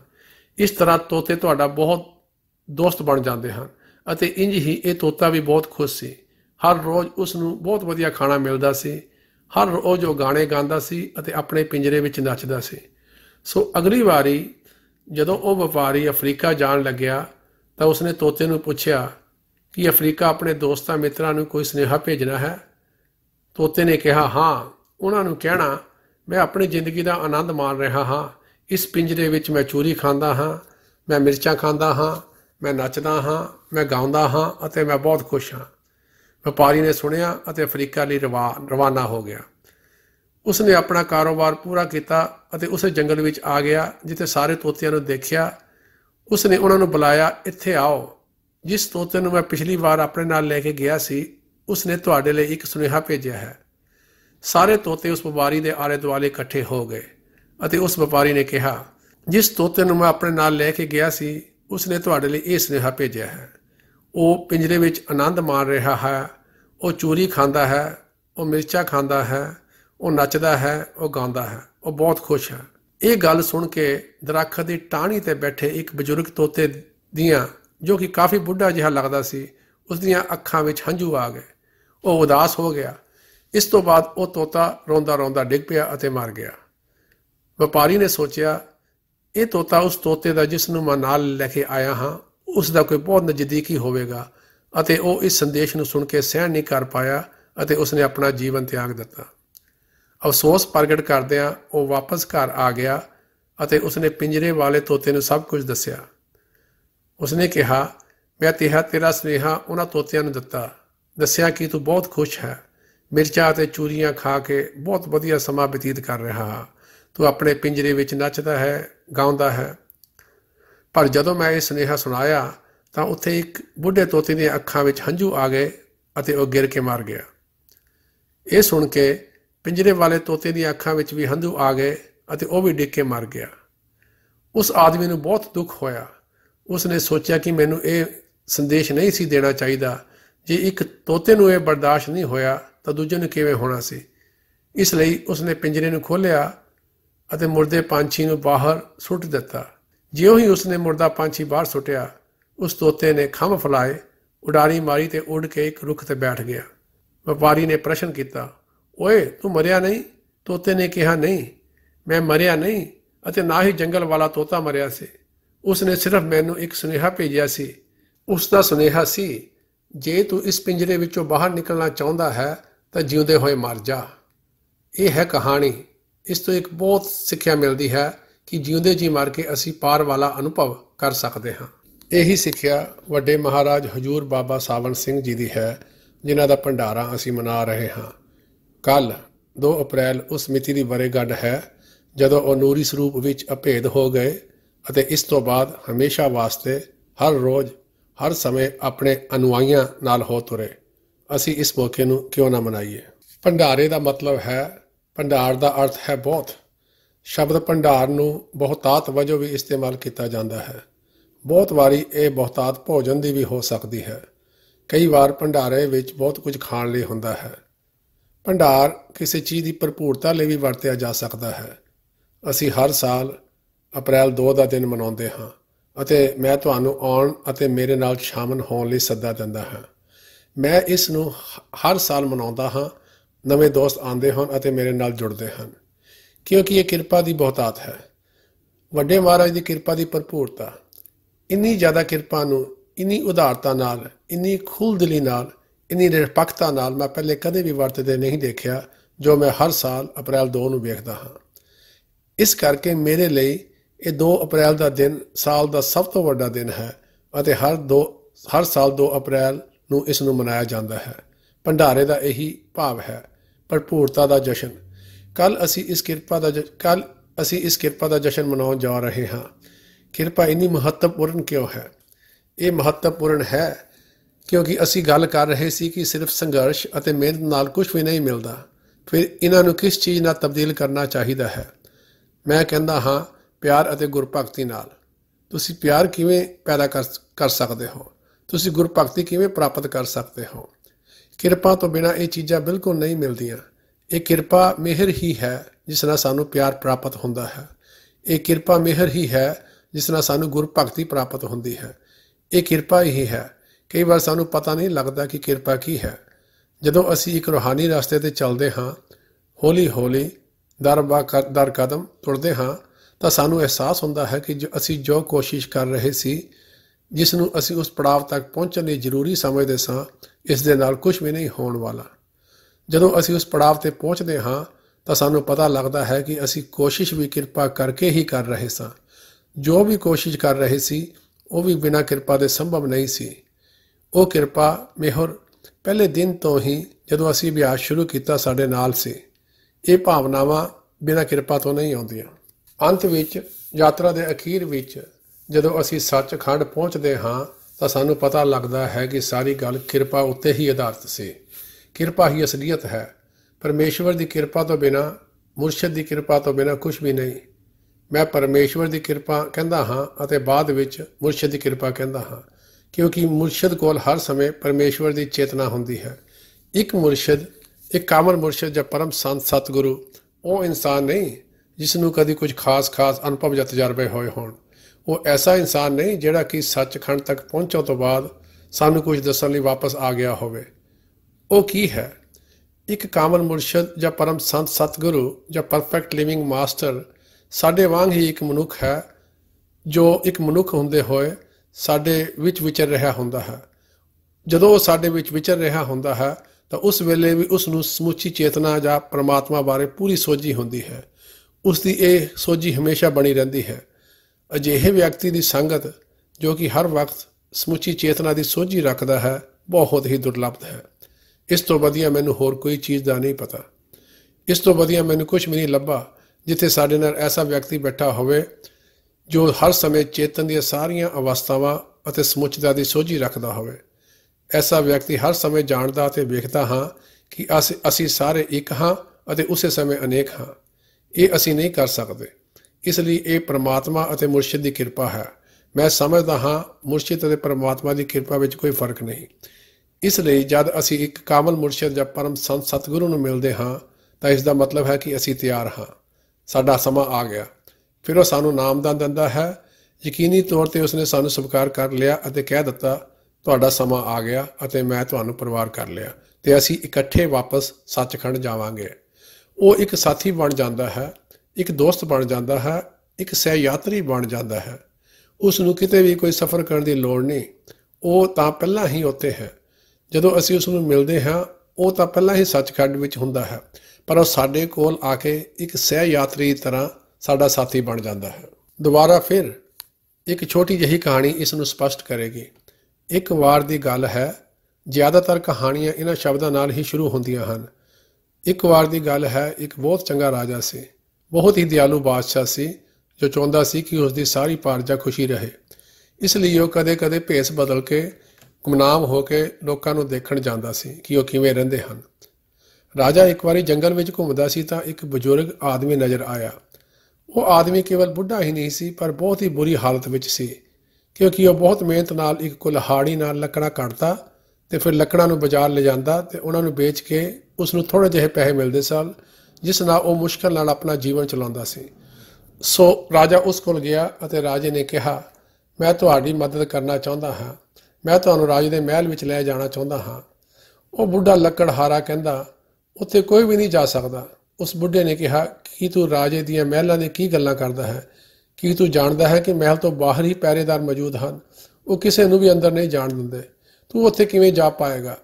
ਰਾਜੇ ਨੇ ਕਿਹਾ, ਮੈਨੂੰ ਉੱਥੇ ਦਾ ਇੱਕ ਪਹਿਰੇਦਾਰ ਜਾਣਦਾ ਹੈ। ਉਹ ਮੇਰੀ ਗੱਲ ਸੁਣਦਾ ਹੈ। ਉਸ ਨੇ ਕਿਹਾ, ਮੈਂ ਨਹੀਂ ਯਕੀਨ ਕਰਦਾ ਕਿਸੇ ਦੀ ਉੱਥੇ ਤੱਕ ਪਹੁੰਚ ਨਹੀਂ ਹੋ ਸਕਦੀ। ਤੂੰ ਵੀ ਮੇਰੇ ਵਰਗਾ ਲੱਗਦਾ ਹੈ। ਜੰਗਲ ਵਿੱਚ ਬੈਠਾ ਹੈ। ਚੰਗਾ ਹੋਵੇ ਕਿ ਤੂੰ ਵੀ ਲੱਕੜਾ ਕੱਟ ਅਤੇ ਮੇਰੇ ਨਾਲ ਕੰਮ ਕਰ। ਸੋ ਰਾਜੇ ਨੇ ਲੱਕੜਾਂ ਕੱਟਣੀਆਂ ਸ਼ੁਰੂ ਕਰ ਦਿੱਤੀਆਂ, ਜਿਨ੍ਹਾਂ ਨੂੰ ਉਹ ਪਿੱਠ ਤੇ ਚੁੱਕਦਾ ਅਤੇ ਉਸ ਆਦਮੀ ਦੇ ਨਾਲ ਜਾ ਕੇ ਬਾਜ਼ਾਰ ਵਿੱਚ ਵੇਚਦਾ। ਉਹ ਉਸ ਵਰਗਾ ਹੀ ਬਣ ਗਿਆ। ਹੁਣ ਬੁੱਢਾ ਖੁਸ਼ ਸੀ ਕਿਉਂਕਿ ਰਾਜਾ ਇੱਕ ਚੰਗੇ ਆਦਮੀ ਦੀ ਤਰ੍ਹਾਂ ਕੰਮ ਕਰਦਾ ਅਤੇ ਹੁਣ ਰਾਜੇ ਦੇ ਮਿਲਣ ਵਾਲੀਆਂ ਮੂਰਖਤਾ ਭਰੀਆਂ ਗੱਲਾਂ ਨਹੀਂ ਕਰਦਾ। ਭਲਾ ਕਿਹੜਾ ਬੰਦਾ ਰਾਜੇ ਕੋਲ ਜਾ ਸਕਦਾ ਹੈ? ਹੌਲੀ ਹੌਲੀ ਯਕੀਨ ਵੱਧਦਾ ਗਿਆ ਅਤੇ ਦੋਵੇਂ ਚੰਗੇ ਦੋਸਤ ਬਣ ਗਏ ਅਤੇ ਲੱਕੜਹਾਰੇ ਨੂੰ ਉਸ ਤੇ ਭਰੋਸਾ ਹੋਣ ਲੱਗ ਪਿਆ ਕਿ ਇਹ ਝੂਠ ਨਹੀਂ ਬੋਲਦਾ। ਹੁਣ ਫਿਰ ਉਹ ਕਹਿਣ ਲੱਗਾ ਕਿ ਉਹ ਇੱਕ ਮਹਿਲ ਦੇ, ਇੱਕ ਪਹਿਰੇਦਾਰ ਨੂੰ ਜਾਣਦਾ ਹੈ। ਬੁੜਾ ਸੋਚਦਾ ਹੈ ਸ਼ਾਇਦ ਉਹ ਸੱਚੀ ਹੀ ਜਾਣਦਾ ਹੋਵੇ। ਚਲੋ, ਚੱਲ ਕੇ ਦੇਖ ਲੈਂਦੇ ਹਾਂ। ਦੋਵੇਂ ਮਹਿਲ ਜਾਣ ਦਾ ਮਨ ਬਣਾਉਂਦੇ ਹਨ। ਰਾਜਾ ਪਹਿਰੇਦਾਰ ਦੇ ਕੋਲ ਜਾ ਕੇ ਹਲਕਾ ਜਿਹਾ ਕਹਿੰਦਾ ਹੈ ਕਿ ਉਸ ਬਾਰੇ ਨਾ ਦੱਸੇ, ਕਿਉਂਕਿ ਉਹ ਗੁੰਮਨਾਮ ਰਹਿ ਕੇ ਇਹ ਪ੍ਰਯੋਗ ਕਰਨਾ ਚਾਹੁੰਦਾ ਸੀ। ਰਾਜਾ ਪਹਿਰੇਦਾਰ ਨੂੰ ਕਹਿੰਦਾ ਹਾਂ ਕਿ ਅਸੀਂ ਮਹਿਲ ਨੂੰ ਦੂਰੋਂ ਹੀ ਦੇਖਣਾ ਚਾਹੁੰਦੇ ਹਾਂ। ਕੀ ਤੂੰ ਸਾਨੂੰ ਇੰਜ ਕਰਨ ਦੇਵੇਗਾ? ਲੱਕੜਹਾਰਾ ਆਪਣੇ ਦੋਸਤ ਨੂੰ ਕਹਿੰਦਾ ਹੈ ਇਹ ਜ਼ਰੂਰ ਸਾਨੂੰ ਮਨਾ ਕਰ ਦੇਣਗੇ, ਸ਼ਾਇਦ ਸਜ਼ਾ ਵੀ ਦੇਣ। ਪਰ ਪਹਿਰੇਦਾਰ ਭੇਸ਼ ਵਟਾਏ ਭੇਸ਼ ਵਟਾਏ ਰਾਜੇ ਨੂੰ ਕਹਿੰਦਾ ਹੈ, ਕਿਉਂਕਿ ਤੂੰ ਮੇਰਾ ਦੋਸਤ ਹੈ, ਤੁਸੀਂ ਮਹਿਲ ਨੂੰ ਦੂਰੋਂ ਦੇਖ ਸਕਦੇ ਹੋ। ਸੋ ਦੋਵੇਂ ਮਹਿਲ ਵੱਲ ਝਾਕਦੇ ਹਨ। ਗਰੀਬ ਆਦਮੀ ਬਹੁਤ ਖੁਸ਼ ਹੁੰਦਾ ਹੈ। ਆਪਣੇ ਦੋਸਤ ਨੂੰ ਕਹਿੰਦਾ ਹੈ, ਤੂੰ ਚੰਗਾ ਬੰਦਾ ਹੈ, ਇਸ ਪਹਿਰੇਦਾਰ ਨੂੰ ਵੀ ਜਾਣਦਾ ਹੈ। ਕੁਝ ਦਿਨਾਂ ਬਾਅਦ ਉਸ ਰਾਜੇ ਨੇ ਕਿਹਾ, ਮੈਂ ਇੱਕ ਅਜਿਹੇ ਵਿਅਕਤੀ ਨੂੰ ਵੀ ਜਾਣਦਾ ਹਾਂ, ਜੋ ਮਹਿਲ ਦੇ ਅੰਦਰ ਰਹਿੰਦਾ ਹੈ ਅਤੇ ਰਾਜੇ ਦੇ ਕਾਫੀ ਕਰੀਬ ਹੈ। ਰਾਜੇ ਦਾ ਸੇਵਾਦਾਰ ਹੈ। ਉਸਨੇ ਕਿਹਾ, ਠੀਕ ਹੈ। ਹੁਣ ਥੋੜਾ ਵਿਸ਼ਵਾਸ ਹੋਰ ਬਣ ਗਿਆ ਸੀ। ਹੌਲੀ ਹੌਲੀ ਰਾਜਾ ਲੱਕੜਹਾਰੇ ਨੂੰ ਅੰਦਰ ਲੈ ਜਾਂਦਾ ਹੈ ਅਤੇ ਫਿਰ ਸੇਵਾਦਾਰ ਨਾਲ ਗੱਲਾਂ ਕਰਦਾ ਹੈ ਅਤੇ ਲੱਕੜਹਾਰੇ ਨੂੰ ਕਹਿੰਦਾ ਹੈ, ਮੈਂ ਇਹ ਕਰ ਸਕਦਾ ਹਾਂ ਜੇ ਤੁਸੀਂ ਚਾਹੁੰਦੇ ਹੋ। ਮੈਂ ਤੁਹਾਨੂੰ ਮੰਤਰੀ ਨਾਲ ਮਿਲਾ ਸਕਦਾ ਹਾਂ ਇਹ ਸੇਵਾਦਾਰ ਮੰਤਰੀ ਨੂੰ ਜਾਣਦਾ ਹੈ। ਸੇਵਾਦਾਰ ਸਾਨੂੰ ਉਸ ਨਾਲ ਮਿਲਾ ਸਕਦਾ ਹੈ। ਮੈਂ ਪਹਿਲਾਂ ਵੀ ਮੰਤਰੀ ਨੂੰ ਮਿਲਿਆ ਹੋਇਆ ਹਾਂ। ਇਸ ਲਈ ਰਾਜਾ ਕਹਿੰਦਾ, ਹਾਂ, ਉਸ ਨੂੰ ਮਿਲਦੇ ਹਾਂ। ਉਹ ਦੋਵੇਂ ਜਾਂਦੇ ਹਨ ਮੰਤਰੀ ਨੂੰ ਮਿਲਦੇ ਹਨ ਅਤੇ ਫਿਰ ਉਹ ਵਾਪਸ ਆ ਕੇ ਲੱਕੜਾ ਕੱਟਣ ਅਤੇ ਵੇਚਣ ਦੇ ਕੰਮ ਤੇ ਲੱਗ ਜਾਂਦੇ ਹਨ। ਗਰੀਬ ਲੱਕੜਹਾਰਾ ਕਹਿੰਦਾ ਹੈ, ਤੂੰ ਇੱਕ ਮਹਾਨ ਵਿਅਕਤੀ ਹੈ। ਇਹਨਾਂ ਸਾਰੇ ਸੰਪਰਕਾਂ ਦੇ ਬਾਵਜੂਦ ਤੂੰ ਮੇਰੇ ਨਾਲ ਲੱਕੜ ਕੱਟ ਰਿਹਾ ਹੈ। ਉਸਨੇ ਕਿਹਾ, ਕਿਉਂਕਿ ਮੈਂ ਤੁਹਾਡਾ ਮਿੱਤਰ ਹਾਂ। ਮੈਂ ਤੇਰੇ ਵਰਗਾ ਹੀ ਹਾਂ। ਮੈਂ ਇਹ ਕਰ ਰਿਹਾ ਹਾਂ। ਮੈਂ ਵੱਖਰਾ ਨਹੀਂ ਹਾਂ। ਅਸੀਂ ਦੋਵੇਂ ਲੱਕੜ ਹਾਰੇ ਹਾਂ। ਅਸੀਂ ਦੋਵੇਂ ਲੱਕੜਾਂ ਕੱਟ ਕੇ ਬਾਜ਼ਾਰ ਵਿੱਚ ਵੇਚਦੇ ਹਾਂ। ਇੱਕ ਦਿਨ ਫਿਰ ਉਹ ਕਹਿੰਦਾ ਹੈ ਮੇਰਾ ਉੱਥੇ ਇੱਕ ਹੋਰ ਸੰਪਰਕ ਹੈ। ਉਹ ਦੋਵੇਂ ਵਾਪਸੀ, ਵਾਪਸ ਮੰਤਰੀ ਕੋਲ ਜਾਂਦੇ ਹਨ ਅਤੇ ਰਾਜਾ ਉਸ ਨੂੰ ਕਹਿੰਦਾ ਹੈ, ਮੰਤਰੀ, ਕੀ ਤੁਸੀਂ ਸਾਨੂੰ ਇਸ ਮਹਿਲ ਦੇ ਰਾਜੇ ਕੋਲ ਲੈ ਕੇ ਜਾ ਸਕਦੇ ਹੋ? ਮੰਤਰੀ ਸਹਿਮਤ ਹੋ ਜਾਂਦਾ ਹੈ। ਹੁਣ ਲੱਕੜਹਾਰਾ ਤੇ ਰਾਜਾ ਦੋਵੇਂ ਮਹਿਲ ਦੇ ਅੰਦਰ ਪਹੁੰਚ ਜਾਂਦੇ ਹਨ। ਸਿੰਘਾਸਣ ਵਾਲੀ ਜਗ੍ਹਾ ਖਾਲੀ ਸੀ ਅਤੇ ਲੱਕੜਹਾਰਾ ਕਹਿੰਦਾ ਹੈ, ਰਾਜਾ ਕਿੱਥੇ ਹੈ? ਰਾਜਾ ਝੱਟ ਜਾ ਕੇ ਸਿੰਘਾਸਣ ਉੱਤੇ ਬੈਠ ਜਾਂਦਾ ਹੈ। ਉਹ ਕਹਿੰਦਾ ਹੈ, ਮੈਂ, ਹਾਂ ਰਾਜਾ, ਤੁਹਾਡਾ ਸਵਾਗਤ। ਉਹ ਗਰੀਬ ਕਹਿੰਦਾ ਹੈ ਤੁਸੀਂ ਮੈਨੂੰ ਪਹਿਲਾਂ ਕਿਉਂ ਨਹੀਂ ਦੱਸਿਆ? ਉਹ ਕਹਿੰਦਾ, ਮੈਂ ਨਹੀਂ ਦੱਸਿਆ। ਮੈਂ ਤੈਨੂੰ ਕੁਝ ਵੀ ਨਹੀਂ ਸੀ ਦੱਸ ਸਕਦਾ। ਤੈਨੂੰ ਤਾਂ ਇਹ ਵੀ ਯਕੀਨ ਨਹੀਂ ਸੀ ਕਿ ਮੈਂ ਪਹਿਰੇਦਾਰ ਨੂੰ ਜਾਣਦਾ ਹੋਵਾਂਗਾ। ਤੈਨੂੰ ਇੰਨਾ ਹੀ ਪਤਾ ਸੀ ਕਿ ਮੈਂ ਤੇਰੀ ਤਰ੍ਹਾਂ ਲੱਕੜ ਹਾਰਾ ਹਾਂ। ਇਸ ਲਈ ਤੂੰ ਮੇਰੇ ਤੇ ਵਿਸ਼ਵਾਸ ਕੀਤਾ, ਮੇਰਾ ਮਿੱਤਰ ਬਣਿਆ ਅਤੇ ਰਾਜੇ ਨੂੰ ਮਿਲਣ ਆਇਆ। ਸਾਡੀ ਸਥਿਤੀ ਵੀ ਕੁਝ ਇਹੋ ਜਿਹੀ ਹੀ ਹੈ। ਅਸੀਂ ਇਹ ਜਾਣ ਹੀ ਨਹੀਂ ਸਕਦੇ ਕਿ ਇੱਕ ਕਾਮਲ ਮੁਰਸ਼ਿਦ ਜਾਂ ਪਰਮ ਸੰਤ ਸਤਿਗੁਰੂ ਕੌਣ ਹੈ, ਜਦ ਤੱਕ ਉਹ ਸਾਡੇ ਵਰਗਾ ਨਹੀਂ ਬਣ ਜਾਂਦਾ। ਸਾਡੇ ਵਰਗਾ ਜੀਵਨ ਨਹੀਂ ਬਤੀਤ ਕਰਦਾ। ਅਤੇ ਸਾਡਾ ਮਿੱਤਰ ਨਹੀਂ ਬਣ ਜਾਂਦਾ। ਫਿਰ ਉਹ ਹੌਲੀ-ਹੌਲੀ ਦਰਵਾਜ਼ਾ ਖੋਲਦਾ ਹੈ ਅਤੇ ਸਾਨੂੰ ਕਹਿੰਦਾ ਹੈ, ਇਹ ਝਲਕ ਦੇਖੋ। ਕਹਿੰਦਾ ਹੈ, ਮੈਂ ਤੁਹਾਨੂੰ ਅੰਦਰ ਵੀ ਕੁਝ ਦਿਖਾ ਸਕਦਾ ਹਾਂ। ਅਤੇ ਫਿਰ ਉਹ ਤੁਹਾਨੂੰ ਥੋੜਾ ਹੋਰ ਅੰਦਰ ਲੈ ਜਾਂਦਾ ਹੈ ਅਤੇ ਉਸ ਨੂੰ ਵਕ, ਸਾਰੇ ਵੱਖ-ਵੱਖ ਹਿੱਸਿਆਂ ਬਾਰੇ ਪਤਾ ਹੁੰਦਾ ਹੈ। ਉਹ ਸਾਰੇ ਸਥਾਨਾਂ ਨੂੰ ਜਾਣਦਾ ਹੈ ਅਤੇ ਹੌਲੀ-ਹੌਲੀ ਮੁਰਸ਼ਦ ਸਾਨੂੰ ਅੰਦਰ ਲੈ ਜਾਂਦਾ ਹੈ। ਉਹ ਕਹਿੰਦਾ ਹੈ ਕਿ ਸੱਚਖੰਡ ਪਹੁੰਚਣ ਤੇ ਮੈਂ ਤੁਹਾਨੂੰ ਸਤਪੁਰਖ ਨਾਲ ਬੁਲਾਵਾਂਗਾ, ਜਿਸ ਨੇ ਇਹ ਸਭ ਕੁਝ ਸਿਰਜਿਆ ਹੈ। ਅਸੀਂ ਉੱਥੇ ਜਾਂਦੇ ਹਾਂ ਅਤੇ ਮੁਰਸ਼ਿਦ ਸਿੰਘਾਸਨ ਉੱਤੇ ਜਾ ਬੈਠਦਾ ਹੈ। ਉਹ ਹਰ ਸਮੇਂ ਸਤਪੁਰਖ ਹੀ ਸੀ। ਕੇਵਲ ਉਸ ਸਮੇਂ ਨਹੀਂ, ਬਲਕਿ ਸ਼ੁਰੂ ਤੋਂ ਵੀ। ਅਸੀਂ ਇਹਨਾਂ ਚੀਜ਼ਾਂ ਨੂੰ ਸਵੀਕਾਰ ਨਹੀਂ ਕਰਦੇ। ਅਸੀਂ ਉਸ ਨੂੰ ਨਹੀਂ ਮੰਨਦੇ, ਜਦ ਤੱਕ ਉਹ ਸਾਡੇ ਵਰਗਾ ਨਹੀਂ ਬਣਦਾ। ਜੇ ਉਹ ਅਸਾਧਾਰਨ ਹੁੰਦਾ, ਤਾਂ ਅਸੀਂ ਉਸ ਦੀ ਪੂਜਾ ਕਰ ਸਕਦੇ ਸਾਂ। ਪਰ ਉਹ ਇੱਕ ਸਹਿਯਾਤਰੀ ਦੇ ਤੌਰ ਤੇ ਮਿੱਤਰ ਨਹੀਂ ਸੀ ਬਣ ਸਕਦਾ। ਇਸ ਲਈ ਇਹ ਬਹੁਤ ਹੀ ਵਧੀਆ ਗੱਲ ਹੈ ਕਿ ਇਹ ਪਰਮ ਸੰਤ ਸਤਿਗੁਰੂ ਜਾਂ ਕਾਮਨ ਮੁਰਸ਼ ਦੁਨੀਆ ਵਿੱਚ ਆਉਂਦੇ ਰਹਿੰਦੇ ਹਨ। ਉਹ ਸਾਡੇ ਵਾਂਗੂ ਹੀ ਕੰਮ ਕਰਦੇ ਹਨ, ਸਾਡੇ ਵਰਗੇ ਬਣ ਜਾਂਦੇ ਹਨ, ਸਾਡੇ ਜੀਵਨ ਨਾਲ ਸਾਝ ਪਾਉਂਦੇ ਨੇ ਅਤੇ ਸਾਰਿਆਂ ਨੂੰ ਇੱਕੋ ਜਿਹਾ ਦੇਖਦੇ ਹਨ। ਇਸੇ ਕਰਕੇ ਉਹ ਸਾਡੇ ਦੋਸਤ ਬਣ ਜਾਂਦੇ ਨੇ। ਇਸੇ ਕਰਕੇ ਅਸੀਂ ਕਿਸੇ ਮਨੁੱਖ ਦੇ ਨਾਲ ਸੱਚੇ ਪਿਆਰ ਦਾ ਅਨੁਭਵ ਕਰਦੇ ਹਾਂ। ਮਨੁੱਖ ਤੋਂ ਬਿਨਾ ਤੁਸੀਂ ਕਿਸੇ ਹੋਰ ਨਾਲ ਸੱਚੇ ਪਿਆਰ ਦਾ ਅਨੁਭਵ ਨਹੀਂ ਕਰ ਸਕਦੇ। ਮੈਂ ਇਹ ਗੱਲ ਜ਼ੋਰ ਦੇ ਕੇ ਕਹਿ ਰਿਹਾ ਹਾਂ, ਕਿਉਂਕਿ ਬਾਕੀ ਸਭ ਕੁਝ ਮਨ ਦਾ ਲਗਾਵ ਹੈ। ਸੱਚੀ ਪ੍ਰੀਤ ਸਾਡੀ ਰੂਹ ਤੋਂ ਆਉਂਦੀ ਹੈ। ਜਦੋਂ ਅਸੀਂ ਕਹਿੰਦੇ ਹਾਂ ਮੈਂ ਆਪਣੇ ਘਰ ਨੂੰ ਪਿਆਰ ਕਰਦਾ ਹਾਂ। ਇਹ ਤੁਹਾਡਾ ਘਰ ਨਾਲ ਲਗਾਓ ਹੈ। ਮੈਂ ਆਪਣੇ ਬੱਚਿਆਂ ਨੂੰ ਪਿਆਰ ਕਰਦਾ ਹਾਂ। ਇਹ ਤੁਹਾਡੇ ਬੱਚਿਆਂ ਨਾਲ ਲਗਾਓ ਹੈ। ਮੈਂ ਉਸ ਨੂੰ ਪਿਆਰ ਕਰਦਾ ਹਾਂ। ਇਹ ਵਾਕ ਸਾਡੀ ਹੋਮੇ ਨਾਲ ਬਣੇ ਹਨ। ਮੈਂ ਇਹ ਕਰ ਰਿਹਾ ਹਾਂ। ਮੈਂ ਪਿਆਰ ਕਰ ਰਿਹਾ ਹਾਂ। ਜਿਵੇਂ ਕਿ ਮੈਂ ਇੱਕ ਵੱਡਾ ਆਦਮੀ ਹਾਂ। ਮੈਂ ਵਧੀਆ ਹਾਂ। ਕਿਉਂਕਿ ਮੈਂ ਉਸ ਨੂੰ ਪਿਆਰ ਕਰ ਸਕਦਾ ਹਾਂ। ਇਹ ਕੇਵਲ ਤੁਹਾਡੀ ਹੋਮੇ ਦਾ ਪ੍ਰਗਟਾਵਾ ਹੈ। ਇਸ ਵਿੱਚ ਕੋਈ ਵੀ ਪਿਆਰ ਨਹੀਂ। ਜਿੱਥੇ ਪਿਆਰ ਹੈ, ਉੱਥੇ ਹੋਮੇ ਨਹੀਂ ਹੁੰਦੇ। ਮੰਨ ਲਓ ਤੁਸੀਂ ਤੁਸੀਂ ਇੱਕ ਵਿਅਕਤੀ, ਇੱਕ ਮਨੁੱਖ ਨੂੰ ਪਿਆਰ ਕਰਨ ਲੱਗ ਪੈਂਦੇ ਹੋ। ਕਦੇ ਤੁਸੀਂ ਧਿਆਨ ਦਿੱਤਾ ਕਿ ਤੁਹਾਡੇ ਨਾਲ ਕੀ ਹੁੰਦਾ ਹੈ? ਤੁਸੀਂ ਮੈਂ ਬਾਰੇ ਗੱਲ ਨਹੀਂ ਕਰਦੇ, ਤੁਸੀਂ ਪਿਆਰੇ ਦੀ ਹੀ ਗੱਲ ਕਰਦੇ ਹੋ। ਪਿਆਰਾ ਹੀ ਤੁਹਾਡੇ ਮਨ ਉੱਤੇ ਛਾਇਆ ਰਹਿੰਦਾ ਹੈ। ਤੁਸੀਂ ਹਰ ਵੇਲੇ ਪਿਆਰੇ ਬਾਰੇ ਸੋਚਦੇ ਰਹਿੰਦੇ ਹੋ। ਤੁਸੀਂ ਆਪਣੇ ਬਾਰੇ ਨਹੀਂ ਸੋਚਦੇ। ਅਸੀਂ ਹੋਰ ਸਭ ਲਗਾਵਾਂ ਵਿੱਚ ਪਹਿਲਾਂ ਆਪਣੇ ਬਾਰੇ ਸੋਚਦੇ ਹਾਂ। ਹਰ ਵੇਲੇ ਕਹਿੰਦੇ ਹਾਂ, ਮੈਂ ਤੁਹਾਨੂੰ ਪਿਆਰ ਕਰਦਾ ਹਾਂ। ਮੈਂ ਤੁਹਾਨੂੰ ਪਿਆਰ ਕਰਦਾ ਹਾਂ। ਅਤੇ ਮੈਂ ਹਰ ਰੋਜ਼ ਲੋਕਾਂ ਨੂੰ ਇਹ ਵਾਕ ਦੁਹਰਾਉਂਦੇ ਸੁਣਦਾ ਹਾਂ। ਲੱਗਦਾ ਹੈ ਜਿਵੇਂ ਉਹ ਅਸੁਰੱਖਿਅਤ ਹਨ। ਉਹ ਹਰ ਪਲ ਮੁੜ-ਮੁੜ ਦੁਹਰਾ ਕੇ ਇਸ ਨੂੰ ਕਹਿਣਾ, ਕਹਿੰਦੇ ਹਨ, ਜੇ ਤੁਸੀਂ ਕਿਸੇ ਨੂੰ ਪਿਆਰ ਕਰਦੇ ਹੋ ਕਿ ਇਹ ਪਿਆਰ ਹਰ ਪਲ ਖਤਮ ਹੋ ਜਾਂਦਾ ਹੈ, ਕਿ ਤੁਹਾਨੂੰ ਦੁਹਰਾਉਣਾ ਪਵੇ। ਜਦ ਤੁਸੀਂ ਕਹਿੰਦੇ ਹੋ, ਮੈਂ ਤੁਹਾਨੂੰ ਪਿਆਰ ਕਰਦਾ ਹਾਂ, ਦੂਸਰਾ ਵਿਅਕਤੀ ਆਖਦਾ ਹੈ, ਮੈਂ ਤੁਹਾਡੇ ਨਾਲ ਨਫ਼ਰਤ ਕਰਦਾ ਹਾਂ। ਤੁਸੀਂ ਵੀ ਇੱਕਦਮ ਇਹ ਕਹਿੰਦੇ ਹੋ, ਮੈਂ ਵੀ ਤੁਹਾਡੇ ਨਾਲ ਨਫ਼ਰਤ ਕਰਦਾ ਹਾਂ। ਇਹ ਕਿਸ ਕਿਸਮ ਦਾ ਪਿਆਰ ਹੈ? ਇਹ ਪਿਆਰ ਨਹੀਂ, ਇਹ ਸਾਡੇ ਦੁਆਰਾ ਤਿਆਰ ਕੀਤੀਆਂ ਗਈਆਂ ਹੋਮੇ ਦੀਆਂ ਭਾਵਨਾਵਾਂ ਹਨ। ਅਤੇ ਇਹ ਲਗਾਵ, ਮੋਹ ਅਤੇ ਦਿਲਚਸਪੀਆਂ ਕਿਸੇ ਹੋਰ ਚੀਜ਼ ਤੇ ਆਧਾਰਿਤ ਹਨ। ਮਨ ਆਕਰਸ਼ਿਤ ਹੋ ਰਿਹਾ ਹੈ, ਭਾਵਨਾਵਾਂ ਆਕਰਸ਼ਿਤ ਹੋ ਰਹੀਆਂ ਹਨ, ਇਹ ਪਿਆਰ ਨਹੀਂ ਹੈ। ਪਿਆਰ ਕੁਝ ਅਜਿਹੀ ਚੀਜ਼ ਹੈ ਜੋ ਸਾਡੇ ਅੰਦਰ ਦੀ ਆਤਮਾ ਨੂੰ ਫੜ ਲੈਂਦਾ ਹੈ। ਪਿਆਰ ਕੁਝ ਅਜਿਹੀ ਚੀਜ਼ ਹੈ ਜੋ ਤੁਹਾਨੂੰ ਖਿੱਚਦੀ ਹੈ ਅਤੇ ਤੁਹਾਨੂੰ ਪਤਾ ਨਹੀਂ ਲੱਗਦਾ ਇਹ ਕਿਵੇਂ ਹੋ ਰਿਹਾ ਹੈ।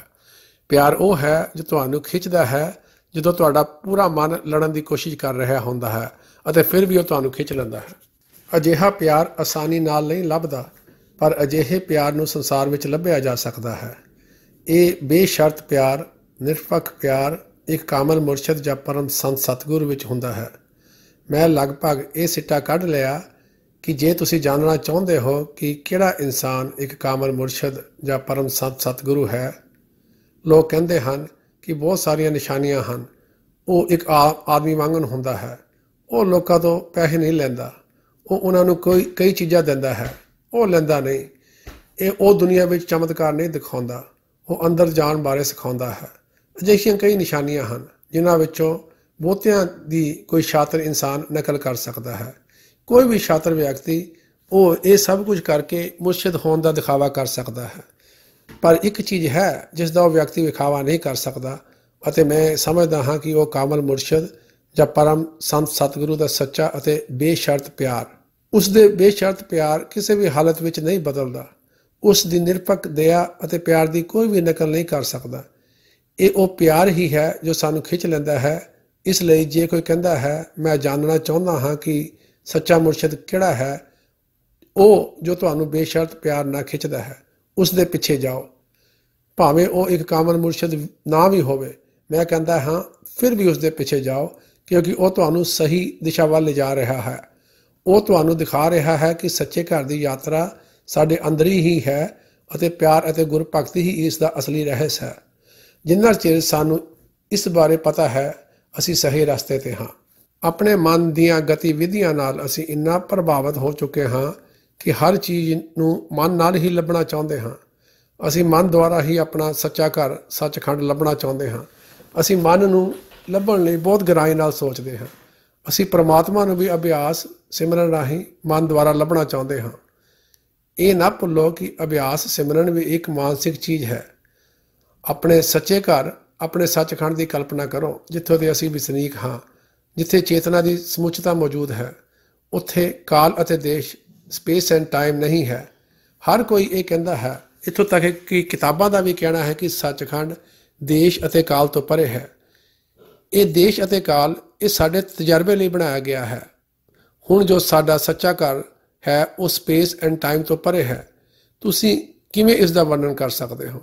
ਤੁਸੀਂ ਕਿਸ ਕਿਵੇਂ ਉਸ ਬਾਰੇ ਗੱਲ ਕਰ ਸਕਦੇ ਹੋ? ਸਾਡੇ ਕੋਲ ਕੋਈ ਭਾਸ਼ਾ ਨਹੀਂ ਜੋ ਅਜਿਹੀ ਚੀਜ਼ ਦੀ ਵਿਆਖਿਆ ਕਰ ਸਕੇ। ਇਸ ਲਈ ਇਹ ਸੋਚਣਾ ਕਿ ਅਸੀਂ ਬੌਧਿਕ ਤੌਰ ਤੇ ਕੁਝ ਕਰ ਸਕਦੇ ਹਾਂ, ਸਰੀਰਕ ਤਰੀਕੇ ਰਾਹੀਂ ਕੁਝ ਕਰ ਸਕਦੇ ਹਾਂ, ਇਹ ਹੋ ਹੀ ਨਹੀਂ ਸਕਦਾ।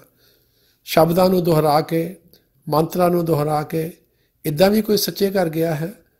ਸ਼ਬਦ ਇੱਥੇ ਸਿਰਫ ਇੱਥੇ ਦੇ ਲੋਕਲ ਲਫ਼ਜ਼ ਹਨ। ਉਹ ਤੁਹਾਨੂੰ ਮਨ ਤੋਂ ਪਰੇ ਕਿਵੇਂ ਲਿਜਾ ਸਕਦੇ ਹਨ? ਸੰਸਾਰ ਵਿੱਚ ਕੋਈ ਵੀ ਮੰਤਰ ਤੁਹਾਨੂੰ ਮਨ ਤੋਂ ਪਰੇ ਕਿਵੇਂ ਲਿਜਾ ਸਕਦਾ ਹੈ, ਜਦੋਂ ਕਿ ਉਹ ਇੱਕ ਮਨ ਨਾਲ ਬੋਲਿਆ ਹੋਇਆ ਸ਼ਬਦ ਹੈ। ਕੋਈ ਵੀ ਅਭਿਆਸ ਜਿਸ ਵਿੱਚ ਕੁਝ ਸਰੀਰਕ ਆਸਨ ਕੀਤੇ ਜਾਣ ਦੀ ਲੋੜ ਹੈ, ਸਰੀਰਕ ਕਿਰਿਆਵਾਂ ਕੀਤੇ ਜਾਣ ਦੀ ਲੋੜ ਹੈ, ਸਰੀਰ ਦੀ ਸਥਿਰਤਾ ਕੀਤੇ ਜਾਣ ਦੀ ਲੋੜ ਹੈ, ਉਹ ਤੁਹਾਨੂੰ ਮਨ ਤੋਂ ਪਰੇ ਕਿਵੇਂ ਲਿਜਾ ਸਕਦੇ ਹਨ? ਇਹ ਸਾਰੀਆਂ ਮਾਨਸਿਕ ਯੋਜਨਾਵਾਂ ਅਤੇ ਮਾਨਸਿਕ ਕਿਰਿਆਵਾਂ ਹਨ। ਪਰ ਇੱਕ ਚੀਜ਼ ਹੈ ਜੋ ਤੁਹਾਨੂੰ ਮਨ ਤੋਂ ਪਰੇ ਲਿਜਾ ਸਕਦੀ ਹੈ ਅਤੇ ਜੋ ਮਨ ਤੋਂ ਨਹੀਂ ਆਉਂਦੀ। ਉਸ ਦਾ ਸਰੀਰ ਨਾਲ ਕੋਈ ਸੰਬੰਧ ਨਹੀਂ। ਉਹ ਹੈ ਆਤਮਾ ਦੀ ਪਿਆਰ ਦੀ ਸ਼ਕਤੀ। ਕੇਵਲ ਉਹ ਸ਼ਕਤੀ ਤੁਹਾਨੂੰ ਮਨ ਤੋਂ ਪਰੇ ਲਿਜਾ ਸਕਦੀ ਹੈ। ਬਾਕੀ ਸਾਰਾ ਕੁਝ ਇਹ ਪਤਾ ਲਗਾਉਣ ਦਾ ਸਿਲਸਿਲਾ ਹੈ ਕਿ ਮਨ ਨਾਲ ਕੁਝ ਵੀ ਨਹੀਂ ਹੋਣ ਵਾਲਾ। ਅਸੀਂ ਸਖਤ ਮਿਹਨਤ ਕਰਦੇ ਹਾਂ। ਸਿਰਫ ਇਹ ਪਤਾ ਲਗਾਉਣ ਲਈ ਕਿ ਮਨ ਨਾਲ ਕੁਝ ਵੀ ਨਹੀਂ ਬਣ ਸਕਦਾ। ਜੇ ਮਨ ਨਾਲ ਕੰਮ ਨਹੀਂ ਸੀ ਬਣਨਾ ਤਾਂ ਅਸੀਂ ਇਨੀ ਮਿਹਨਤ ਕਰਨ ਦੀ ਕੋਸ਼ਿਸ਼ ਕਿਉਂ ਕੀਤੀ? ਕਿਉਂਕਿ ਮਨ ਇਸ ਨੂੰ ਸਵੀਕਾਰ ਨਹੀਂ ਕਰਦਾ ਕਿ ਮਿਹਨਤ ਕੀਤੇ ਬਿਨਾਂ ਵੀ ਕੁਝ ਮਿਲ ਸਕਦਾ ਹੈ। ਪਰ ਲੋਕ ਅੰਤ ਤੱਕ ਇਸ ਤਰ੍ਹਾਂ ਕਰਦੇ ਹਨ। ਉਹ ਕਹਿੰਦੇ ਹਨ, ਸਾਨੂੰ ਪਤਾ ਹੈ ਕਿ ਸਾਨੂੰ ਕੀ ਚਾਹੀਦਾ ਹੈ। ਮੈਂ ਆਪਣੇ ਮਨ ਨਾਲ, ਆਪਣੀ ਕੋਸ਼ਿਸ਼ ਨਾਲ ਇਸ ਨੂੰ ਪ੍ਰਾਪਤ ਕਰ ਸਕਦਾ ਹਾਂ। ਕੋਈ ਹੋਰ ਮੇਰੀ ਮਦਦ ਨਹੀਂ ਕਰ ਸਕਦਾ। ਇਹ ਸਿਰਫ ਆਪਣੀ ਸਿਹਤਾਂ ਨਾਲ, ਆਪਣੇ ਦਿਮਾਗ ਨਾਲ ਹੀ ਪ੍ਰਾਪਤ ਕੀਤਾ ਜਾ ਸਕਦਾ ਹੈ। ਮੇਰੀ ਆਪਣੀ ਕੋਸ਼ਿਸ਼ ਨਾਲ ਹੀ ਪ੍ਰਾਪਤ ਕੀਤਾ ਜਾ ਸਕਦਾ ਹੈ। ਪਰ ਹੁੰਦ ਇਸ ਤਰ੍ਹਾਂ ਨਹੀਂ ਹੁੰਦਾ। ਪਰ ਤੁਹਾਨੂੰ ਕਿਵੇਂ ਵਿਸ਼ਵਾਸ ਆਵੇ ਕਿ ਮਿਹਨਤ ਅਤੇ ਮਨ ਦੀ ਮਦਦ ਨਾਲ ਇੰਜ ਨਹੀਂ ਹੁੰਦਾ। ਸਖਤ ਕੋਸ਼ਿਸ਼ ਕਰਕੇ ਅਤੇ ਫਿਰ ਅਸਫਲ ਹੋ ਕੇ ਇਸ ਗੱਲ ਦਾ ਪਤਾ ਲੱਗਦਾ ਹੈ। ਵੱਡੇ ਮਹਾਰਾਜ ਜੀ ਦਾ ਇੱਕ ਸ਼ਰਧਾਲੂ ਸੀ। ਉਹ ਭਾਰਤ ਵਿੱਚ ਇੱਕ ਪ੍ਰਦੇਸ਼ ਦੇ ਜੱਜ ਅਤੇ ਵਿੰਤ ਮੰਤਰੀ ਸਨ। ਉਹ ਬਹੁਤ ਪੜ੍ਹੇ ਲਿਖੇ ਅਤੇ ਸੂਝਵਾਨ ਸੱਜਣ ਸਨ। ਜਦੋਂ ਉਹ ਨੌਕਰੀ ਤੋਂ ਰਿਟਾਇਰ ਹੋ ਕੇ ਹੋਏ ਤਾਂ ਵੱਡੇ ਮਹਾਰਾਜ ਜੀ ਕੋ ਆਏ ਅਤੇ ਕਿਹਾ ਮਹਾਰਾਜ ਜੀ, ਮੈਂ ਹੁਣ ਆਪਣੀ ਬਾਕੀ ਦੀ ਸਾਰੀ ਜ਼ਿੰਦਗੀ ਤੁਹਾਡੀ ਸੇਵਾ ਕਰਨੀ ਚਾਹੁੰਦਾ ਹਾਂ।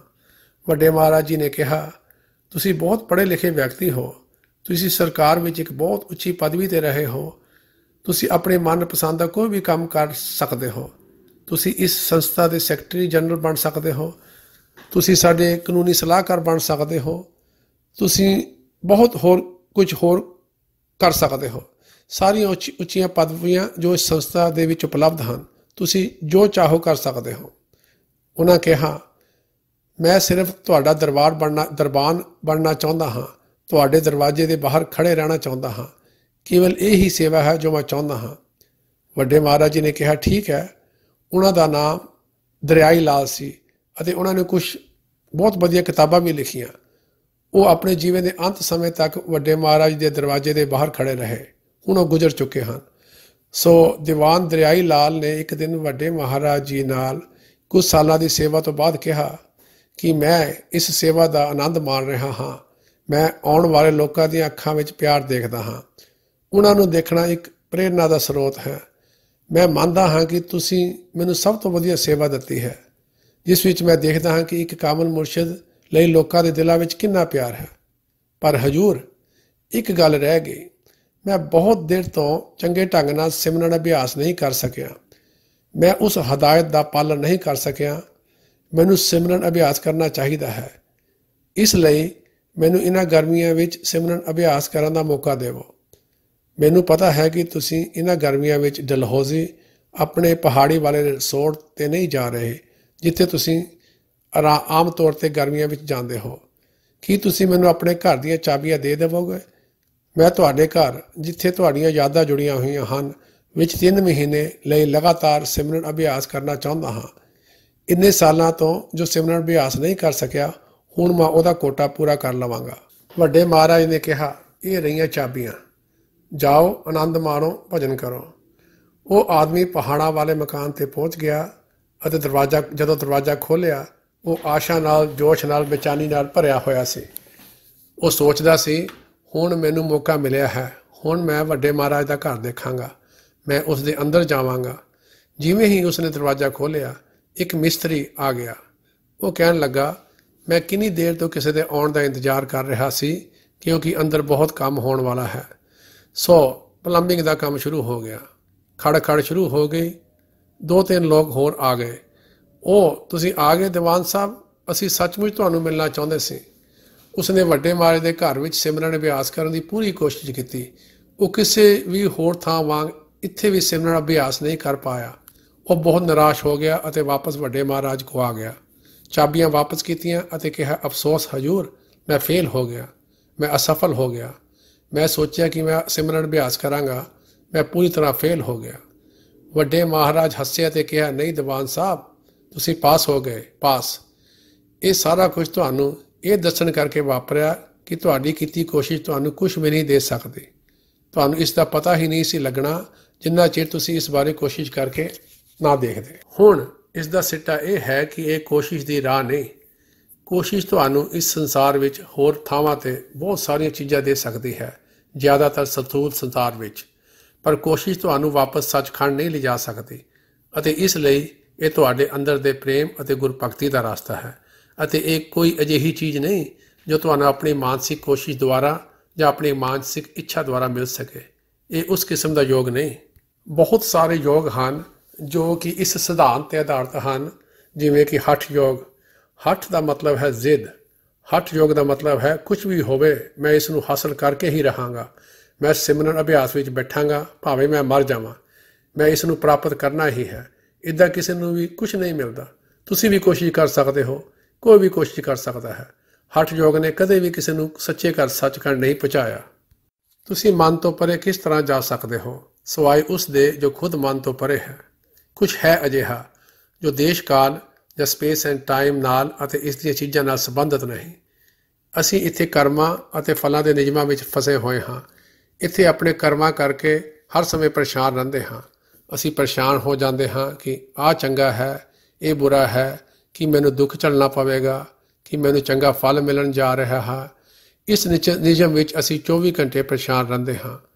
ਅਸੀਂ ਆਪਣੇ ਸੱਚੇ ਘਰ ਸੱਚਖੰਡ ਜਾ ਰਹੇ ਹਾਂ, ਜਿੱਥੇ ਇਹ ਨਿਯਮ ਲਾਗੂ ਨਹੀਂ ਹੁੰਦੇ। ਸਾਰੇ ਕਰਮ ਜਿਨ੍ਹਾਂ ਬਾਰੇ ਅਸੀਂ ਗੱਲ ਕਰਦੇ ਹਾਂ, ਜੋ ਸਾਨੂੰ ਇੱਥੇ ਜਕੜੀ ਬੈਠੇ ਹਨ ਅਤੇ ਲਗਾਤਾਰ ਸਾਡੀ ਸੁਰਤ ਜਾਂ ਤਵੱਜੋ ਨੂੰ ਆਪਣੇ ਵੱਲ ਖਿੱਚ ਕੇ ਰੱਖਦੇ ਹਨ, ਇਹ ਸਭ ਮਨ ਕਰਕੇ ਹਨ। ਆਤਮਾ ਉੱਤੇ ਕਰਮਾਂ ਦਾ ਕੋਈ ਅਸਰ ਨਹੀਂ ਹੁੰਦਾ। ਕਦੇ ਵੀ ਨਹੀਂ। ਆਤਮਾ ਤੇ ਕਦੇ ਵੀ ਕਰਮਾਂ ਦਾ ਅਸਰ ਨਹੀਂ ਹੋਇਆ। ਅਤੇ ਨਾ ਹੀ ਹੋਵੇਗਾ। ਇਹ ਸ਼ੁੱਧ ਚੇਤਨਾ ਹੈ।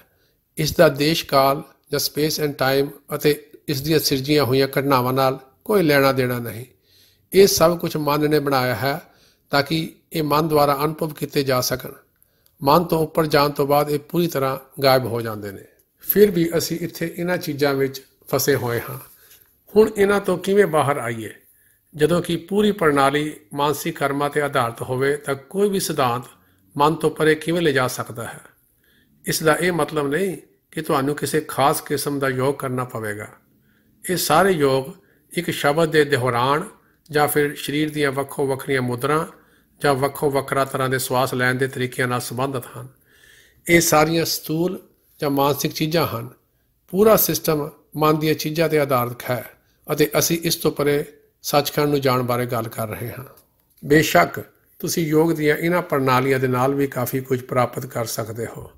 ਜੇ ਤੁਹਾਡੀ ਇੱਛਾ ਸਿਰਫ ਇਹਨਾਂ ਲਈ ਹੀ ਹੈ। ਤੁਸੀਂ ਤੰਦਰੁਸਤ ਹੋਣਾ ਚਾਹੁੰਦੇ ਹੋ। ਕੁਝ ਚੰਗੀ ਸਾਹ ਲੈਣ ਦੀ ਕਸਰਤ ਕਰੋ। ਉਸ ਨੂੰ ਯੋਗ ਆਖੋ ਜਾਂ ਕਸਰਤ, ਪਰ ਇਸ ਨਾਲ ਤੁਸੀਂ ਸਿਹਤਮੰਦ ਰਹਿ ਸਕਦੇ ਹੋ। ਤੁਸੀਂ ਤੰਦਰੁਸਤ ਰਹਿਣਾ ਚਾਹੁੰਦੇ ਹੋ।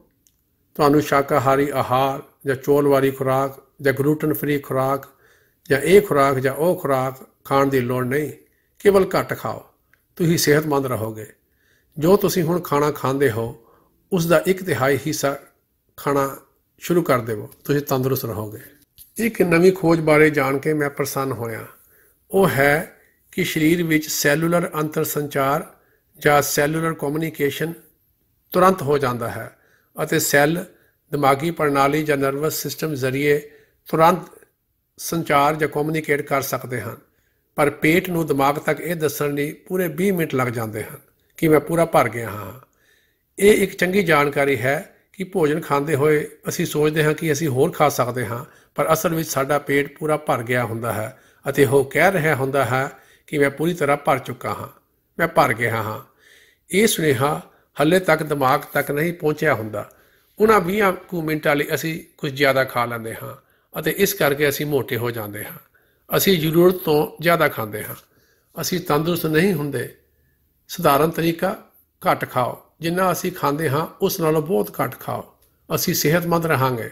ਤੁਸੀਂ ਇਸ ਦੀ ਜਾਂਚ ਕਰ ਸਕਦੇ ਹੋ। ਇਸ ਨੂੰ ਅਜਮਾਓ। ਪਰ ਇਹ ਸਾਡੇ ਸੱਚੇ ਘਰ ਜਾਣ ਦੇ ਤਰੀਕੇ ਨਹੀਂ ਹਨ।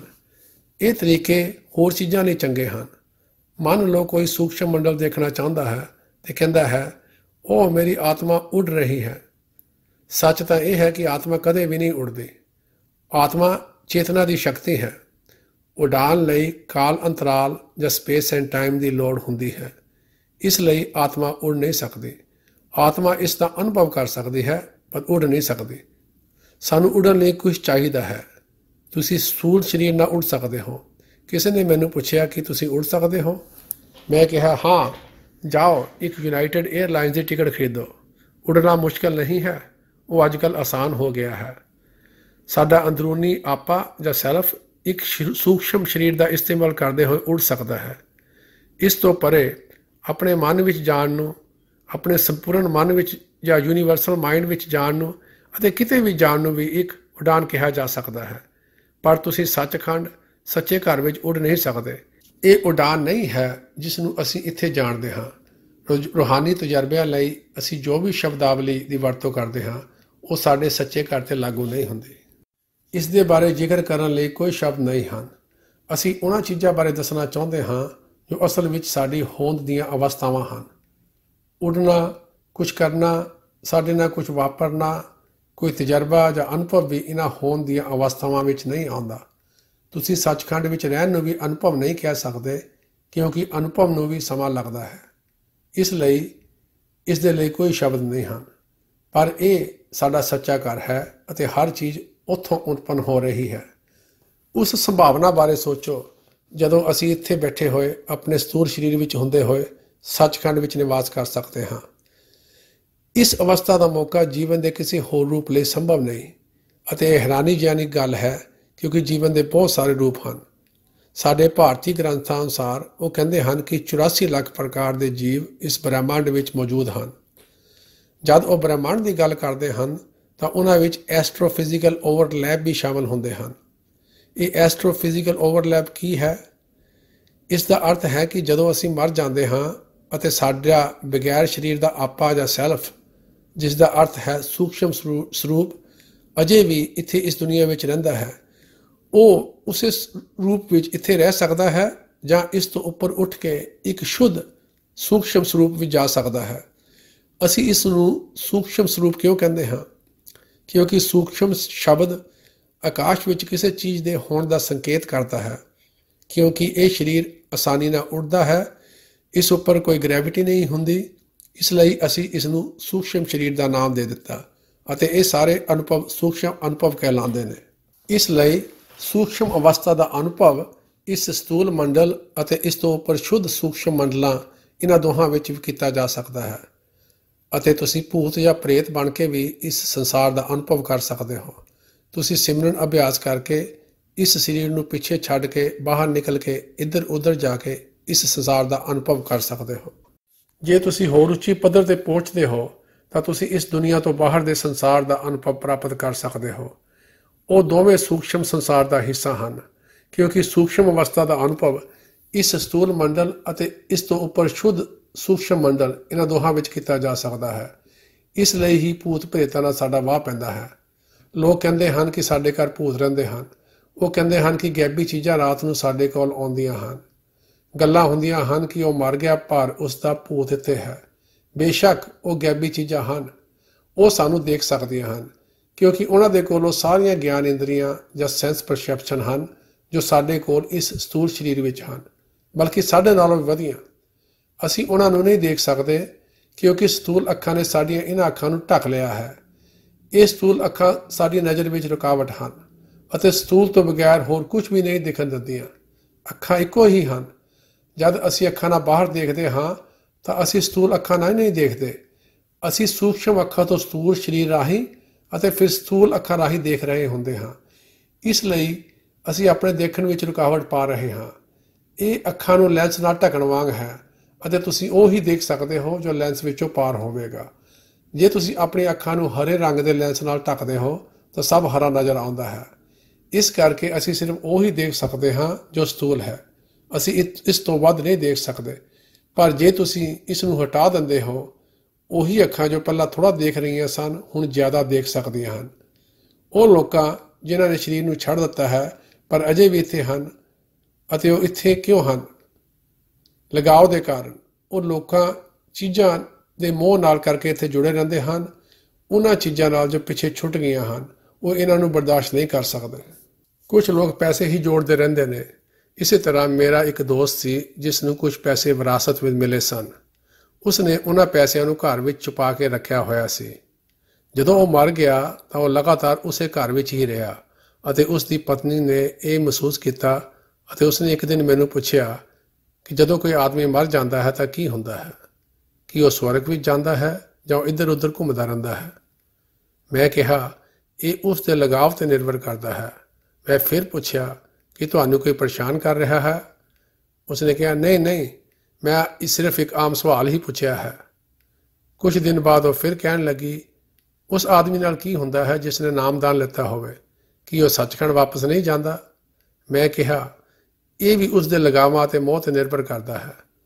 ਮੈਂ ਫਿਰ ਪੁੱਛਿਆ, ਕਿ ਤੁਹਾਨੂੰ ਕੋਈ ਪਰੇਸ਼ਾਨ ਕਰ ਰਿਹਾ ਹੈ? ਉਸਨੇ ਆਖਿਆ, ਨਹੀਂ ਨਹੀਂ। ਆਖਰਕਾਰ ਇੱਕ ਦਿਨ ਉਸਨੇ ਮੈਨੂੰ ਦੱਸ ਹੀ ਦਿੱਤਾ, ਕੋਈ ਮੈਨੂੰ ਪਰੇਸ਼ਾਨ ਕਰ ਰਿਹਾ ਹੈ। ਇਹ ਮੇਰੇ ਘਰ ਵਾਲੇ ਵਰਗਾ ਲੱਗਦਾ ਹੈ। ਉਹ ਮਰਿਆ ਨਹੀਂ। ਉਹ ਅਜੇ ਵੀ ਇੱਥੇ ਆਲੇ ਦੁਆਲੇ ਘੁੰਮਦਾ ਹੈ। ਮੈਨੂੰ ਪਰੇਸ਼ਾਨ ਕਰਦਾ ਹੈ।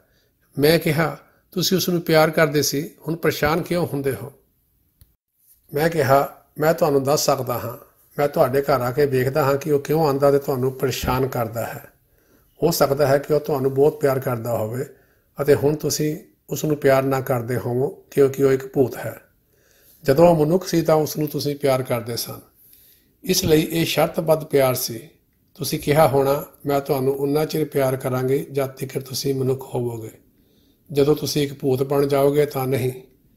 ਮੈਂ ਕਿਹਾ, ਤੁਹਾਨੂੰ ਕੀ ਮਹਿਸੂਸ ਹੋ ਰਿਹਾ ਹੈ ਕਿ ਉਹ ਕਿੱਥੇ ਹੈ? ਉਸਨੇ ਕਿਹਾ, ਮੈਨੂੰ ਲੱਗਦਾ ਹੈ ਕਿ ਉਹ ਹਮੇਸ਼ਾ ਦੀ ਤਰ੍ਹਾਂ ਇਸ ਦਰਵਾਜ਼ੇ ਤੇ ਆਉਂਦਾ ਹੈ। ਲੱਗਦਾ ਹੈ ਕਿ ਉਹ ਉਸ ਕੋਨੇ ਤੇ ਚਲਾ ਜਾਂਦਾ ਹੈ। ਮੈਂ ਕਿਹਾ, ਤੂੰ ਉੱਥੇ ਕੁਝ ਲੁਕੋਇਆ ਹੋਇਆ ਹੈ? ਨਹੀਂ ਨਹੀਂ ਨਹੀਂ ਕੁਝ ਨਹੀਂ। ਅਖੀਰ ਵਿੱਚ ਪਤਾ ਲੱਗਾ ਕਿ ਸਾਰਾ ਕੁਝ ਉਹ ਚੀਜ਼ਾਂ ਤੇ ਨਗਦ ਉਸਨੇ ਉੱਥੇ ਛਪਾਇਆ ਹੋਇਆ ਸੀ। ਅਤੇ ਜੇ ਉਹ ਉਸ ਸਮਾਨ ਨੂੰ ਕਿਸੇ ਹੋਰ ਜਗ੍ਹਾ ਲੈ ਜਾਂਦੀ ਤਾਂ ਉਹ ਉੱਥੇ ਚਲਾ ਜਾਂਦਾ। ਹੁਣ ਸਾਡੀ ਇੱਕ ਹੋਰ ਮਿੱਤਰ ਜੋ ਇਸ ਔਰਤ ਨਾਲ ਰਹਿ ਰਹੀ ਸੀ, ਉਸਨੇ ਮੈਨੂੰ ਕਿਹਾ ਜਦ ਤੱਕ ਇਹ ਔਰਤ ਕੋਲ ਇਹ ਸਮਾਨ ਹੈ, ਇਹ ਕਦੇ ਵੀ ਇਸ ਪੁੱਤੀਆ ਚੀਜ਼ ਤੋਂ ਛੁਟਕਾਰਾ ਨਹੀਂ ਕਰ ਪਾਏਗੀ। ਇਸ ਲਈ ਮੈਂ ਵੀ ਉਸ ਨੂੰ ਸਲਾਹ ਦਿੱਤੀ ਕਿ ਸਮਾਨ ਵੰਡ ਦਿਓ। ਇਸ ਦੀ ਵਰਤੋਂ ਕਰੋ, ਇਸ ਨੂੰ ਖਰਚ ਕਰੋ ਕੁਝ ਕਰੋ, ਪਰ ਇਸ ਨੂੰ ਇਦਾਂ ਨਾ ਰੱਖੋ ਕਿ ਇਹ ਧਿਆਨ ਖਿੱਚੇ। ਪਰ ਉਸ ਨੇ ਨਾ ਸੁਣਿਆ। ਇਸ ਲਈ ਉਸ ਮਿੱਤਰ ਨੇ ਇੱਕ ਦਿਨ ਸਮਾਨ ਨੂੰ ਬਾਹਰ ਨਿਕਾਲ ਕੇ ਖਿਲਾਰ ਦਿੱਤਾ ਅਤੇ ਮੁਦਰਾ ਅਤੇ ਪੇਪਰ ਅਤੇ ਵੱਡੇ ਨੋਟ ਇੱਧਰ ਉੱਧਰ ਸੁੱਟ ਦਿੱਤੇ। ਇਹ ਔਰਤ ਰੋ ਪਈ। ਫਿਰ ਉਹਨਾਂ ਨੇ ਸਭ ਸਮਾਨ ਵੰਡ ਦਿੱਤਾ। ਉਹ ਭੂਤ ਬਣ ਚੁੱਕਾ ਇਨਸਾਨ ਕਦੇ ਵਾਪਸ ਨਹੀਂ ਆਇਆ। ਇਹ ਕਿਹੋ ਜਿਹਾ ਪਿਹਾਰ ਸੀ? ਮੈਂ ਤੁਹਾਨੂੰ ਇੱਕ ਸੱਚੀ ਕਹਾਣੀ ਸੁਣਾਈ ਹੈ। ਕਦੇ ਕਦਾਈ ਅਸੀਂ ਕਹਿੰਦੇ ਹਾਂ ਕਿ ਇੱਥੇ ਭੂਤ ਹਨ, ਉਹ ਹਨ। ਉਹ ਹਨ ਕਿਉਂਕਿ ਬਗੈਰ ਸਰੀਰ ਦੇ ਭੂਤ ਪ੍ਰੇਤ ਅਜੇ ਵੀ ਇੱਥੇ ਹਨ। ਉਹ ਸਾਡੇ ਵਰਗੇ ਹੀ ਹਨ, ਸਿਰਫ ਉਹਨਾਂ ਕੋਲ ਸਰੀਰ ਨਹੀਂ ਹੁੰਦਾ। ਲੋਕ ਮੈਨੂੰ ਬਾਰ-ਬਾਰ ਪੁੱਛਦੇ ਹਨ, ਅਸੀਂ ਇਸ ਨਾਲ ਕਿਵੇਂ ਨਜਿੱਠੀਏ? ਮੈਂ ਮਹਿਸੂਸ ਕਰਦਾ ਹਾਂ ਕਿ ਮੈਂ ਆਪਣੀ ਮਾਂ ਨਾਲ ਚੰਗਾ ਵਰਤਾਅ ਨਹੀਂ ਕੀਤਾ। ਮੈਨੂੰ ਲੱਗਦਾ ਹੈ ਕਿ ਮੈਨੂੰ ਉਸ ਨਾਲ ਬੁਰੀ ਤਰ੍ਹਾਂ ਪੇਸ਼ ਆਇਆ। ਹੁਣ ਉਹ ਮਰ ਗਈ ਹੈ ਤੇ ਮੈਨੂੰ ਬਹੁਤ ਅਫਸੋਸ ਹੋ ਰਿਹਾ ਹੈ ਅਤੇ ਮੈਂ ਦੋਸ਼ੀ ਮਹਿਸੂਸ ਕਰਦਾ ਹਾਂ। ਮੈਂ ਕੀ ਕਰਾਂ? ਮੈਂ ਉਹਨਾਂ ਨੂੰ ਇੱਕ ਸਧਾਰਨ ਜਿਹਾ ਇਲਾਜ ਦੱਸਦਾ ਹਾਂ। ਇੱਕ ਲਫ਼ਜ਼ ਦਾ ਇਲਾਜ। ਇਸ ਨੂੰ ਮਾਫੀ ਕਿਹਾ ਜਾਂਦਾ ਹੈ। ਅਜਿਹੀ ਸਥਿਤੀ ਤੋਂ ਉਭਰਨ ਲਈ ਮਾਫੀ ਵਰਗੀ ਕੋਈ ਵੀ ਚੀਜ਼ ਨਹੀਂ। ਉਸ ਨੂੰ ਮਾਫ ਕਰ ਦਿਓ ਅਤੇ ਆਪਣੇ ਆਪ ਨੂੰ ਮਾਫ ਕਰ ਦਿਓ। ਜਦੋਂ ਤੁਸੀਂ ਮਾਫੀ ਦਾ ਇਸਤੇਮਾਲ ਕਰਦੇ ਹੋ ਤੁਸੀਂ ਉਸ ਸਥਿਤੀ ਤੋਂ ਪਾਰ ਹੋ ਜਾਂਦੇ ਹੋ ਜਿਸ ਨੇ ਤੁਹਾਨੂੰ ਫੜਿਆ ਹੋਇਆ ਹੈ। ਬਹੁਤ ਸਾਰੀਆਂ ਚੀਜ਼ਾਂ ਹਨ ਜਿਨ੍ਹਾਂ ਨੇ ਸਾਨੂੰ ਫੜਿਆ ਹੋਇਆ ਹੈ। ਸਾਡੇ ਮੋਹ, ਸਾਡੀਆਂ ਇੱਛਾਵਾਂ ਅਤੇ ਸਾਡਾ ਪਛਤਾਵਾ ਵੀ ਉਹਨਾਂ ਵਿੱਚੋਂ ਇੱਕ ਹੈ ਕਿ ਮੈਂ ਮੈਂ ਕੁਝ ਗਲਤ ਕੀਤਾ, ਆਪਣੇ ਆਪ ਨੂੰ ਮਾਫ ਕਰੋ। ਉਸ ਨੇ ਮੇਰੇ ਨਾਲ ਇੰਨਾ ਕੁਝ ਗਲਤ ਕੀਤਾ, ਮੈਂ ਉਸ ਨੂੰ ਕਿਸ ਤਰ੍ਹਾਂ ਮਾਫ ਕਰ ਸਕਦਾ ਹਾਂ? ਕਰ ਦਿਓ ਮਾਫ। ਇੱਕ ਦਿਨ ਮੇਰੀ ਪਤਨੀ ਨੇ ਇੱਕ ਰੋਜ਼ਾਨਾ ਡਾਇਰੀ ਕੱਢੀ ਜਿਸ ਵਿੱਚ ਰੋਜ਼ਾਨਾ ਦੀ ਤਰ੍ਹਾਂ ਵਿਚਾਰ ਲਿਖੇ ਹੁੰਦੇ ਹਨ। ਉਸ ਦਿਨ ਦਾ ਇੱਕ ਵਿਚਾਰ ਸੀ, ਜੀਵਨ ਦੀਆਂ ਕੁਝ ਗੱਲਾਂ ਮਾਫ ਨਹੀਂ ਕੀਤੀਆਂ ਜਾ ਸਕਦੀਆਂ। ਇਹੀ ਉਹ ਸਥਿਤੀ ਹੈ ਜਦ ਤੁਹਾਨੂੰ ਮਾਫ ਕਰਨਾ ਚਾਹੀਦਾ ਹੈ। ਜਦੋਂ ਤੁਸੀਂ ਮਹਿਸੂਸ ਕਰਦੇ ਹੋ ਕਿ ਅਜਿਹਾ ਬਹੁਤ ਗਲਤ ਹੋਇਆ ਹੈ, ਜਿਸ ਨੂੰ ਤੁਸੀਂ ਕਦੇ ਵੀ ਮਾਫ ਨਹੀਂ ਕਰ ਸਕਦੇ, ਉਹ ਬਹੁਤ ਮਾੜਾ ਅਤੇ ਦੁਖਦਾਈ ਹੈ, ਤੁਸੀਂ ਉਸ ਨੂੰ ਮਾਫ ਨਹੀਂ ਕਰ ਸਕਦੇ। ਇਹੀ ਉਹ ਸਥਿਤੀ ਹੈ ਜਦ ਤੁਹਾਨੂੰ ਮਾਫ ਕਰ ਦੇਣਾ ਚਾਹੀਦਾ ਹੈ। ਮਾਫੀ ਤੁਹਾਨੂੰ ਇਸ ਸਮੱਸਿਆ ਤੋਂ ਛੁਟਕਾਰਾ ਦਿੰਦੀ ਹੈ, ਜਿਹੜੀ ਤੁਹਾਨੂੰ ਅੰਦਰ ਜਾਣ ਤੋਂ ਰੋਕ ਸਕਦੀ ਹੈ, ਕਿਉਂਕਿ ਇਸ ਨਾਲ ਤੁਸੀਂ ਆਪਣੀ ਤਵੱਜੋ ਨੂੰ ਕੇਂਦਰਿਤ ਨਹੀਂ ਕਰ ਸਕਦੇ। ਤੁਸੀਂ ਆਪਣੀ ਤਵੱਜੋ ਨਹੀਂ ਖਿੱਚ ਸਕਦੇ, ਜਦੋਂ ਤੱਕ ਤੁਸੀਂ ਆਪਣੇ ਆਪ ਨੂੰ ਅਤੇ ਦੂਜਿਆਂ ਨੂੰ ਮਾਫ ਨਹੀਂ ਕਰਦੇ। ਮਾਫ ਕਰਨ ਤੋਂ ਬਾਅਦ ਹੀ ਤੁਸੀਂ ਅੱਗੇ ਵਧਣ ਲਈ ਤਿਆਰ ਹੁੰਦੇ ਹੋ। ਮੈਂ ਇਸ ਨੁਕਤੇ ਬਾਰੇ ਗੱਲ ਕਰ ਰਿਹਾ ਹਾਂ, ਕਿਉਂਕਿ ਇਹ ਸਾਡੇ ਅਧਿਆਤਮਿਕ ਰਸਤੇ ਤੇ ਸਾਡੀ ਰੋਹਾਨੀ ਯਾਤਰਾ ਲਈ ਬਹੁਤ ਜ਼ਰੂਰੀ ਹਨ। ਇਸ ਲਈ ਸਾਨੂੰ ਇਹਨਾਂ ਚੀਜ਼ਾਂ ਨੂੰ ਕਰਨਾ ਚਾਹੀਦਾ ਹੈ, ਜਿਵੇਂ ਕਿ ਮਾਫ ਕਰਨਾ, ਪਿਆਰ ਅਤੇ ਗੁਰਭਗਤੀ, ਪਿਆਰ ਅਤੇ ਗੁਰਭਗਤੀ ਨਾਲ ਅਭਿਆਸ ਕਰਨਾ। ਲੋਕ ਪੁੱਛਦੇ ਹਨ, ਅਸੀਂ ਪਿਆਰ ਅਤੇ ਗੁਰਭਗਤੀ ਕਿਵੇਂ ਕਰ ਸਕਦੇ ਹਾਂ? ਤੁਸੀਂ ਰਾਤ ਨੂੰ ਜਾਂਦੇ ਹੋ, ਤੁਸੀਂ ਕਿਸੇ ਜਗ੍ਹਾ ਆਪਣੀ ਕਾਰ ਪਾਰਕ ਕਰਦੇ ਹੋ ਅਤੇ ਆਪਣੇ ਪਿਆਰੇ ਨੂੰ ਮਿਲਣ ਲਈ ਤੁਸੀਂ ਕੁਝ ਵੀ ਟੱਪਣ ਲਈ ਤਿਆਰ ਹੋ, ਕਿਉਂਕਿ ਤੁਹਾਨੂੰ ਕਿਸੇ ਨਾਲ ਸਰੀਰਿਕ ਪਿਆਰ ਹੈ। ਇੱਥੇ ਅਸੀਂ ਬੇਸ਼ਰਤ ਪਿਆਰ ਪ੍ਰਤੀ ਜਵਾਬ ਦੇਣ ਬਾਰੇ ਗੱਲ ਕਰ ਰਹੇ ਹਾਂ। ਜੇ ਤੁਸੀਂ ਪਿਆਰ ਅਤੇ ਗੁਰਭਗਤੀ ਵੱਲ ਅਭਿਆਸ ਕਰਨਾ ਚਾਹੁੰਦੇ ਹੋ, ਸੱਚ ਦੀ ਖੋਜ ਲਈ, ਆਪਣੀ ਖੋਜ ਲਈ, ਤਾਂ ਅੱਖਾਂ ਦੇ ਪਿੱਛੇ ਬੈਠੋ। ਤੁਹਾਡਾ ਮੁਰਸ਼ਿਦ, ਜਿਸ ਨੇ ਤੁਹਾਨੂੰ ਇਸ ਰਾਹ ਤੇ ਤੋਰਿਆ ਹੈ, ਉਹ ਪਹਿਲਾਂ ਹੀ ਉੱਥੇ ਬੈਠਾ ਹੋਇਆ ਹੈ। ਹੋ ਸਕਦਾ ਹੈ ਉਹ ਕਿਸੇ ਪਰਦੇ ਪਿੱਛੇ ਲੁਕਿਆ ਹੋਵੇ, ਕਿਸੇ ਹਨੇਰੇ ਪਰਦੇ ਪਿੱਛੇ ਛੁਪਿਆ ਹੋਵੇ। ਜੇ ਮੇਰਾ ਪਿਆਰਾ ਇੱਕ ਪਰਦੇ ਦੇ ਪਿੱਛੇ ਬੈਠਾ ਹੈ ਤਾਂ ਮੈਂ ਉਸ ਨੂੰ ਕਹਾਂਗਾ, ਤੁਸੀਂ ਪਰਦਾ ਕਦੋਂ ਲਾਹੋਗੇ? ਹੋ ਸਕਦਾ ਹੈ ਮੈਂ ਕਦੀ ਜਾ ਕੇ ਉਸ ਪਰਦੇ ਨੂੰ ਫਾੜ ਵੀ ਦੇਵਾਂ, ਪਰ ਮੈਂ ਆਰਾਮ ਨਾਲ ਬੈਠ ਕੇ ਸ਼ਬਦਾਂ ਨੂੰ ਨਹੀਂ ਦੁਹਰਾਵਾਂਗਾ। ਮੈਂ ਉਸ ਨਾਲ ਤਾਲਮੇਲ ਕਰਾਂਗਾ। ਮੈਂ ਆਪਣੇ ਮੁਰਸ਼ਿਦ ਨਾਲ ਗੱਲ ਕਰਾਂਗਾ। ਇੱਕ ਮੁਰਸ਼ਿਦ ਜੋ ਸਾਡੇ ਨਾਲ ਬੇਸ਼ਰਤ ਪਿਆਰ ਕਰਦਾ ਹੈ, ਉਹ ਸਾਡੇ ਸਾਡੇ ਅੰਦਰ ਬੈਠਾ ਹੈ। ਅਸੀਂ ਸਮਝਦੇ ਹਾਂ ਕਿ ਕਿਸੇ ਹੋਰ ਚੀਜ਼, ਜਿਵੇਂ ਕਿ ਮੁਰਸ਼ਿਦ ਕਿੱਥੇ ਬੈਠਾ ਹੈ ਉਹ ਕੀ ਕਰ ਰਿਹਾ ਹੈ? ਇਹਨਾਂ ਸਭ ਤੋਂ ਮਨ ਨੂੰ ਹਟਾ ਕੇ ਕੁਝ ਖਾਸ ਸ਼ਬਦਾਂ ਵਿੱਚ ਮਨ ਨੂੰ ਦੁਹਰਾਣਾ ਹੀ ਅਭਿਆਸ ਹੈ। ਮੇਰੇ ਮੁਤਾਬਿਕ ਇਹ ਅਭਿਆਸ ਨਹੀਂ ਹੈ। ਸ਼ਬਦ ਮਨ ਨੂੰ ਹੋਰ ਚੀਜ਼ਾਂ ਬਾਰੇ ਰੋਕਣ ਤੋਂ ਵਰਤੇ ਜਾਂਦੇ ਹਨ। ਇਸ ਲਈ ਮੰਤਰ ਦਾ ਪ੍ਰਯੋਗ ਕੀਤਾ ਜਾਂਦਾ ਹੈ। ਸਿਮਰਨ ਦਾ ਪ੍ਰਯੋਗ ਕੀਤਾ ਜਾਂਦਾ ਹੈ ਤਾਂ ਕਿ ਤੁਸੀਂ ਹੋਰ ਚੀਜ਼ਾਂ ਬਾਰੇ ਨਾ ਸੋਚ ਸਕੋ। ਮਨ ਨੂੰ ਇਹਨਾਂ ਸ਼ਬਦਾਂ ਵਿੱਚ ਲਗਾਓ ਤਾਂ ਕਿ ਮਨ ਹੋਰ ਚੀਜ਼ਾਂ ਬਾਰੇ ਨਾ ਸੋਚ ਸਕੇ। ਪਰ ਇਸ ਨੂੰ ਅੰਦਰ ਬੈਠੇ ਹੋ ਮੁਰਸ਼ਿਦ ਬਾਰੇ ਸੋਚਣ ਤੋਂ ਨਾ ਰੋਕੋ। ਉਸ ਨਾਲ ਗੱਲ ਕਰੋ। ਭਾਵਕ ਹੁੰਦੇ ਹੋਏ ਉਸ ਨਾਲ ਗੱਲ ਕਰੋ। ਉਸ ਨੂੰ ਸ਼ਿਕਾਇਤ ਕਰੋ। ਉਸ ਨਾਲ ਗੁੱਸਾ ਕਰੋ। ਇਹ ਸਭ ਪਿਆਰ ਹੈ। ਜਦ ਤੁਸੀਂ ਕਿਸੇ ਨੂੰ ਆਪਣੇ ਅੰਦਰ ਇੰਨਾ ਨੇੜੇ ਮਹਿਸੂਸ ਕਰਦੇ ਹੋ ਅਤੇ ਉਸ ਨਾਲ ਗੱਲਬਾਤ ਕਰਦੇ ਹੋ, ਤਾਂ ਤੁਸੀਂ ਪਹਿਲੇ ਦਿਨ ਤੋਂ ਹੀ ਅਭਿਆਸ ਨੂੰ ਪਿਆਰ ਅਤੇ ਗੁਰਭਗਤੀ ਨਾਲ ਕਰ ਰਹੇ ਹੋ। ਇਸ ਤਰ੍ਹਾਂ ਅਭਿਆਸ ਸਫਲ ਹੋ ਜਾਵੇਗਾ। ਨਹੀਂ ਤਾਂ ਤੁਸੀਂ, ਜਿਵੇਂ ਭਾਰਤ ਵਿੱਚ ਕਹਿੰਦੇ ਹਨ ਪਾਣੀ ਵਿੱਚ ਮਧਾਣੀ ਮਾਰਦੇ ਹੋ, ਮਧਾਣੀ ਚਲਾਉਂਦੇ ਰਹੋਗੇ। ਇਸੇ ਉਮੀਦ ਵਿੱਚ ਕਿ ਇੱਕ ਦਿਨ ਮੱਖਣ ਬਾਹਰ ਆਏਗਾ। ਇਹ ਇਸ ਤਰ੍ਹਾਂ ਨਹੀਂ ਹੁੰਦਾ। ਇਹ ਇੱਕ ਮਸ਼ੀਨੀ ਚੀਜ਼ ਨਹੀਂ ਹੈ। ਇਹ ਤੁਹਾਡੇ ਪਿਆਰ ਦੇ ਜਜ਼ਬਾਤ ਹਨ। ਤੁਹਾਡਾ ਇਹ ਮਹਿਸੂਸ ਕਰਨਾ ਕਿ ਤੁਸੀਂ ਆਪਣੇ ਦੋਸਤ ਵੱਲ ਖਿੱਚੇ ਜਾ ਰਹੇ ਹੋ। ਤੁਸੀਂ ਇੱਕ ਸੱਚੇ ਦੋਸਤ ਨਾਲ ਕਿਸ ਤਰ੍ਹਾਂ ਦਾ ਵਰਤਾਵ ਕਰੋਗੇ? ਇੱਕ ਅਜਿਹੇ ਦੋਸਤ ਨਾਲ ਜਿਸ ਨੇ ਤੁਹਾਨੂੰ 100% ਭਰੋਸਾ ਕਰ ਸਕਦੇ ਹੋ, ਜਿਸ ਨਾਲ ਤੁਸੀਂ ਹਰ ਚੀਜ਼ ਸਾਂਝੀ ਕਰ ਸਕਦੇ ਹੋ। ਇਹੋ ਜਿਹਾ ਦੋਸਤ ਤੁਹਾਡੇ ਅੰਦਰ ਬੈਠਾ ਹੈ। ਇਹ ਕਾਮਲ ਮੁਰਸ਼ਿਦ ਜਾਂ ਪਰਮ ਸੰਤ ਸਤਿਗੁਰੂ ਨਾਮ ਦੇਣ ਵੇਲੇ ਹੀ ਤੁਹਾਡਾ ਮਿੱਤਰ ਬਣ ਕੇ ਤੁਹਾਡੇ ਅੰਦਰ ਬੈਠ ਜਾਂਦਾ ਹੈ। ਦਿਖਿਆ ਦੇ ਸਮੇਂ ਹੀ ਉਹ ਤੁਹਾਡੇ ਅੰਦਰ ਇੱਕ ਅਜਿਹਾ ਦੋਸਤ ਬੈਠ ਜਾਂਦਾ ਹੈ।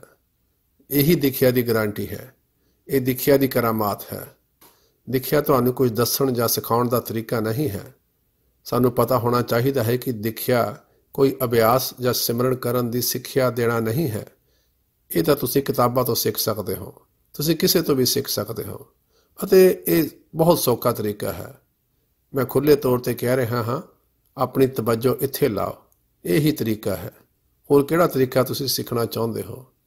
ਜੋਗੀ ਬੁੱਲੇ ਸ਼ਾਹ ਨੇ ਕਿਹਾ ਹੈ, ਰੱਬ ਨੂੰ ਲੱਭਣਾ ਮੁਸ਼ਕਲ ਨਹੀਂ ਹੈ। ਆਪਣੀ ਤਵੱਜੋ ਨੂੰ ਬਾਹਰੋਂ ਖਿੱਚ ਕੇ ਅੰਦਰ ਲਗਾਓ ਤੇ ਤੁਹਾਨੂੰ ਰੱਬ ਮਿਲ ਜਾਏਗਾ।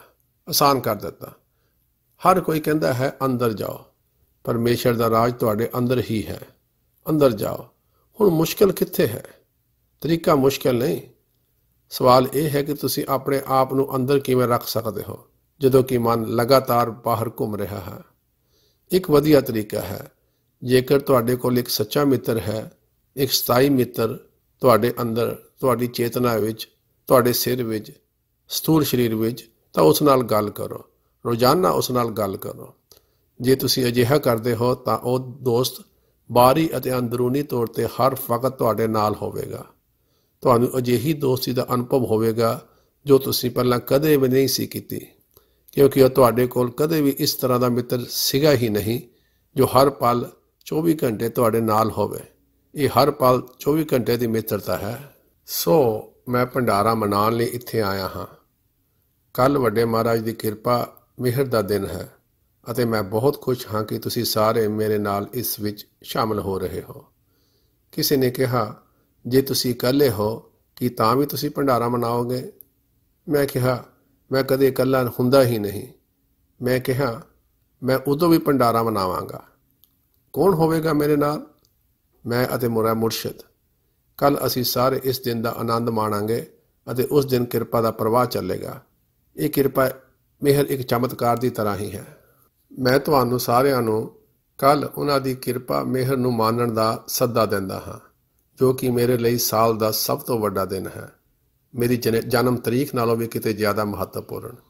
ਮੇਰੀ ਵਿਆਹ ਦੀ ਵਰੇਗੰਢ ਤੋਂ ਵੀ ਜ਼ਿਆਦਾ ਮਹੱਤਵਪੂਰਨ। ਕਿਸੇ ਤਿਉਹਾਰ ਤੋਂ ਵੀ ਵੱਧ ਮਹੱਤਵਪੂਰਨ। ਕੱਲ ਮੇਰੇ ਜੀਵਨ ਦਾ ਸਭ ਤੋਂ ਵੱਡਾ ਦਿਨ ਹੈ। ਉਹ ਦਿਨ ਜਦੋਂ ਵੱਡੇ ਮਹਾਰਾਜ ਹਮੇਸ਼ਾ ਲਈ ਦਿਖਾਈ ਦੇਣਾ ਸ਼ੁਰੂ ਹੋ ਗਏ। ਹਮੇਸ਼ਾ ਲਈ ਹਰ ਅਨੁਭਵ ਵਿੱਚ ਮੇਰੇ ਨਾਲ ਹੋ ਤੁਰੇ।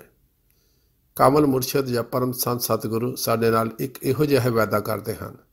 ਉਹ ਉਹ ਇਹ ਕਿ ਦੇਖਿਆ ਲੈਣ ਤੋਂ ਪਿੱਛੋਂ ਉਸ ਦਾ ਨਰੂਰੀ ਸਰੂਪ ਤੁਸੀਂ ਹਮੇਸ਼ਾ ਲਈ ਆਪਣੇ ਅੰਦਰ ਪ੍ਰਗਟ ਕਰ ਸਕਦੇ ਹੋ। ਉਹ ਕਦੇ ਮਰਦੇ ਨਹੀਂ ਅਤੇ ਸਾਨੂੰ ਵੀ ਇਹ ਪਤਾ ਹੋਣਾ ਚਾਹੀਦਾ ਹੈ ਕਿ ਅਸੀਂ ਵੀ ਕਦੇ ਨਹੀਂ ਮਰਦੇ, ਸਿਰਫ ਸਰੀਰ ਮਰਦੇ ਹਨ। ਅਸੀਂ ਜਿਉਂਦੇ ਰਹਿੰਦੇ ਹਾਂ, ਉਹ ਸਾਡੇ ਨਾਲ ਰਹਿੰਦੇ ਹਨ। ਉਹ ਸਿਰਫ ਰਸਤਾ ਹੀ ਨਹੀਂ ਦਿਖਾਉਂਦੇ, ਉਹ ਸਾਨੂੰ ਆਪ ਉੱਥੇ ਲੈ ਜਾਂਦੇ ਹਨ। ਉਹ ਅੱਧ ਵਿਚਕਾਰ ਨਹੀਂ ਛੱਡਦੇ ਅਤੇ ਨਾ ਹੀ ਕਹਿੰਦੇ ਹਨ, ਹੁਣ ਬਾਕੀ ਦਾ ਰਸਤਾ ਤੁਸੀਂ ਆਪਣੇ ਆਪ ਤੈਅ ਕਰ ਲਓ। ਉਹ ਸਾਡੇ ਨਾਲ ਹੋ ਕੇ ਸਾਨੂੰ ਅੰਤ ਤੱਕ ਲੈ ਜਾਂਦੇ ਹਨ, ਕਿਉਂਕਿ ਉਹ ਖੁਦ ਹੀ ਅੰਤ ਹਨ। ਅਤੇ ਇਸ ਦਾ ਪਤਾ ਸਾਨੂੰ ਅਖੀਰ ਵਿੱਚ ਹੀ ਲੱਗਦਾ ਹੈ। ਇਹ ਉਹਨਾਂ ਸਧਾਰਨ ਮਨੁੱਖਾਂ ਦੀ, ਆਮ ਚਿਹਰਿਆਂ ਦੀ, ਆਮ ਜੀਵਨ ਦੀ ਸੁੰਦਰਤਾ ਹੈ। ਉਹ ਸਾਡੇ ਵਰਗਾ ਹੀ ਜੀਵਨ ਬਤੀਤ ਕਰਦੇ ਹਨ। ਮੈਂ ਇਹ ਸਾਰਾ ਕੁਝ ਵੱਡੇ ਮਹਾਰਾਜ ਦੇ ਵਿੱਚ ਦੇਖਿਆ। ਮੈਂ ਉਹਨਾਂ ਦੇ ਜੀਵਨ ਵਿੱਚ ਇਸ ਨੂੰ ਦੇਖਿਆ। ਇੱਕ ਅਜਿਹਾ ਵਿਅਕਤੀ ਜੋ ਬਹੁਤ ਅਮੀਰ ਸੀ, ਇੱਕ ਰਾਜਾ ਸੀ ਅਤੇ ਵੱਡਾ ਵੱਡੇ ਮਹਾਰਾਜੀ ਉਸ ਦੇ ਨਾਲ ਇੱਕ ਰਾਜਾ ਵਾਂਗ ਚੱਲਦੇ। ਅਸੀਂ ਸਾਰਿਆਂ ਨੇ ਦੇਖਿਆ, ਉਹਨਾਂ ਨੇ ਇੱਕ ਰਾਜੇ ਵਾਂਗ ਹੀ ਉਸ ਨਾਲ ਗੱਲ ਕਰਨੀ। ਉਹਨਾਂ ਨੇ ਇਸ ਤਰ੍ਹਾਂ ਗੱਲ ਕਰਨੀ ਜਿਵੇਂ ਉਹਨਾਂ ਕੋਲ ਰਾਜੇ ਵਰਗੇ ਸਾਰੇ ਹੀ ਅਧਿਕਾਰ ਹੋਣ। ਜਦੋਂ ਉਹ ਕਿਸੇ ਅਮੀਰ ਵਿਅਕਤੀ ਨਾਲ ਹੁੰਦੇ ਤਾਂ ਅਮੀਰਾਂ ਵਾਂਗੂ ਪੇਸ਼ ਆਉਂਦੇ। ਕਿਸੇ ਗਰੀਬ ਵਿਅਕਤੀ ਨਾਲ ਕਿਸੇ ਛੋਟੇ ਜਿਹੇ ਪਿੰਡ ਵਿੱਚ ਹੁੰਦੇ ਤਾਂ ਵੱਡੇ ਮਹਾਰਾਜ ਦਾ ਪਹਿਰਾਵਾ ਉਸ ਗਰੀਬ ਵਿਅਕਤੀ ਵਾਂਗ ਹੀ ਹੁੰਦਾ। ਉਸ ਵਰਗਾ ਉੱਠਣਾ ਬੈਠਣਾ ਹੋ ਜਾਂਦਾ। ਇਹ ਕਾਮਨ ਮੁਰਸ਼ਦ ਸਾਡੇ ਵਾਂਗ ਹੋ ਕੇ ਕਿਉਂ ਵਰਤਦੇ ਹਨ? ਕਿਉਂਕਿ ਇਹੀ ਤਰੀਕਾ ਹੈ ਜਿਸ ਨਾਲ ਉਹ ਸਾਡੇ ਪੱਕੇ ਮਿੱਤਰ ਬਣ ਸਕਦੇ ਹਨ। ਸਭ ਤੋਂ ਪਹਿਲਾਂ ਉਹ ਮਨੁੱਖੀ ਰੂਪ ਵਿੱਚ ਸਾਡੀ ਪੱਧਰ ਤੇ ਆਉਂਦੇ ਹਨ, ਕਿਉਂਕਿ ਅਸੀਂ ਮਨੁੱਖ ਹਾਂ। ਇਸ ਪੱਧਰ ਤੇ ਆ ਕੇ ਫਿਰ ਮਨੁੱਖ ਬਣਨ ਤੋਂ ਬਾਅਦ ਉਹ ਸਾਡੇ ਮਿੱਤਰ ਬਣ ਬੈਠਦੇ ਨੇ। ਵੱਡੇ ਮਹਾਰਾਜ ਦੇ ਇੱਕ ਮਹਾਨ ਸ਼ਿਸ਼, ਡਾਕਟਰ ਈਸ਼ਰ ਸਿੰਘ, ਜੋ ਵੈਟਰਨਰੀ ਡਾਕਟਰ ਸਨ, ਜਿਨ੍ਹਾਂ ਦੇ ਕਿੱਸੇ ਮੈਂ ਸੁਣਾਉਂਦਾ ਰਹਿੰਦਾ ਹਾਂ। ਉਹਨਾਂ ਨੇ ਇੱਕ ਦਿਨ ਮੈਨੂੰ ਦੱਸਿਆ, ਇੱਕ ਮੁਰਸ਼ਿਦ ਮਿੱਤਰ ਪਹਿਲਾਂ ਹੁੰਦਾ ਹੈ, ਫਿਰ ਮੁਰਸ਼ਿਦ। ਜੇ ਉਹ ਸਾਡਾ ਦੋਸਤ ਨਹੀਂ, ਤਾਂ ਉਹ ਸਾਡਾ ਮੁਰਸ਼ਿਦ ਨਹੀਂ ਹੋ ਸਕਦਾ। ਇੱਕ ਮੁਰਸ਼ਿਦ ਇੱਕ ਅਧਿਆਪਕ ਨਹੀਂ, ਜੋ ਕਿਸੇ ਥੜੇ ਉੱਤੇ ਬੈਠ ਕੇ ਤੁਹਾਨੂੰ ਪ੍ਰਵਚਨ ਦੇਵੇ ਕਿ ਕੀ ਕਰਨਾ ਹੈ। ਇੱਕ ਮੁਰਸ਼ਿਦ ਉਹ ਵਿਅਕਤੀ ਹੈ ਜੋ ਤੁਹਾਡੇ ਵਰਗਾ ਹੋ ਕੇ ਤੁਹਾਨੂੰ ਪਿਆਰ ਕਰਦਾ ਹੈ ਅਤੇ ਉੱਥੋਂ ਉਹ ਤੁਹਾਨੂੰ ਆਖਰੀ ਮੰਜ਼ਲ ਤੱਕ ਲੈ ਜਾਂਦਾ ਹੈ। ਮੈਂ ਤੁਹਾਡਾ ਸਾਰਿਆਂ ਦਾ ਇਸ ਭੰਡਾਰੇ ਦੇ ਮੌਕੇ ਤੇ ਸਵਾਗਤ ਕਰਦਾ ਹਾਂ ਅਤੇ ਹੁਣ ਅਸੀਂ ਇੱਕ ਬ੍ਰੇਕ ਲਵਾਂਗੇ ਤੇ ਮੈਂ ਤੁਹਾਨੂੰ ਦੁਪਹਿਰ ਤੋਂ ਬਾਅਦ ਦੁਬਾਰਾ ਫਿਰ ਮਿਲਾਂਗਾ। ਪਰ ਮੈਂ ਇੱਕ ਬੇਨਤੀ ਕਰਨਾ ਚਾਹੁੰਦਾ ਹਾਂ, ਇਸ ਸਮੇਂ ਜਾਂ ਪਲ ਦਾ ਵਧੀਆ ਇਸਤੇਮਾਲ ਕਰੋ। ਕੱਲ 2 ਅਪ੍ਰੈਲ ਨੂੰ ਇੱਕ ਬਹੁਤ ਮਿਹਰ ਅਤੇ ਕਿਰਪਾ ਭਰਿਆ ਦਿਨ ਹੈ, ਭੰਡਾਰ ਦਾ ਦਿਨ। ਕਿਰਪਾ ਦੀ ਬਹੁਤਾਤ ਵਾਲਾ ਦਿਨ। ਤੁਸੀਂ ਜਿੰਨੀ ਕਿਰਪਾ ਜਾਂ ਮਿਹਰ ਲੈ ਸਕਦੇ ਹੋ, ਲਓ। ਤੁਹਾਨੂੰ ਲੱਗੇਗਾ ਕਿ ਤੁਸੀਂ ਕੁਝ ਅਜਿਹਾ ਪ੍ਰਾਪਤ ਕਰ ਰਹੇ ਹੋ, ਜਿਸ ਨੂੰ ਤੁਸੀਂ ਪਹਿਲਾਂ ਕਦੇ ਵੀ ਅਨੁਭਵ ਨਹੀਂ ਕੀਤਾ। ਮੈਂ ਹਰ ਸਾਲ ਇਸ ਦਿਨ ਇਸ ਦਾ ਅਨੁਭਵ ਕਰਦਾ ਹਾਂ ਅਤੇ ਮੈਂ ਇਹ ਸਭ ਕੁਝ ਤੁਹਾਡੇ ਨਾਲ ਸਾਂਝਾ ਕਰਨਾ ਚਾਹੁੰਦਾ ਹਾਂ। ਮੇਰੀਆਂ ਗੱਲਾਂ ਧੀਰਜ ਨਾਲ ਸੁਣਨ ਲਈ ਤੁਹਾਡਾ ਬਹੁਤ ਬਹੁਤ ਧੰਨਵਾਦ।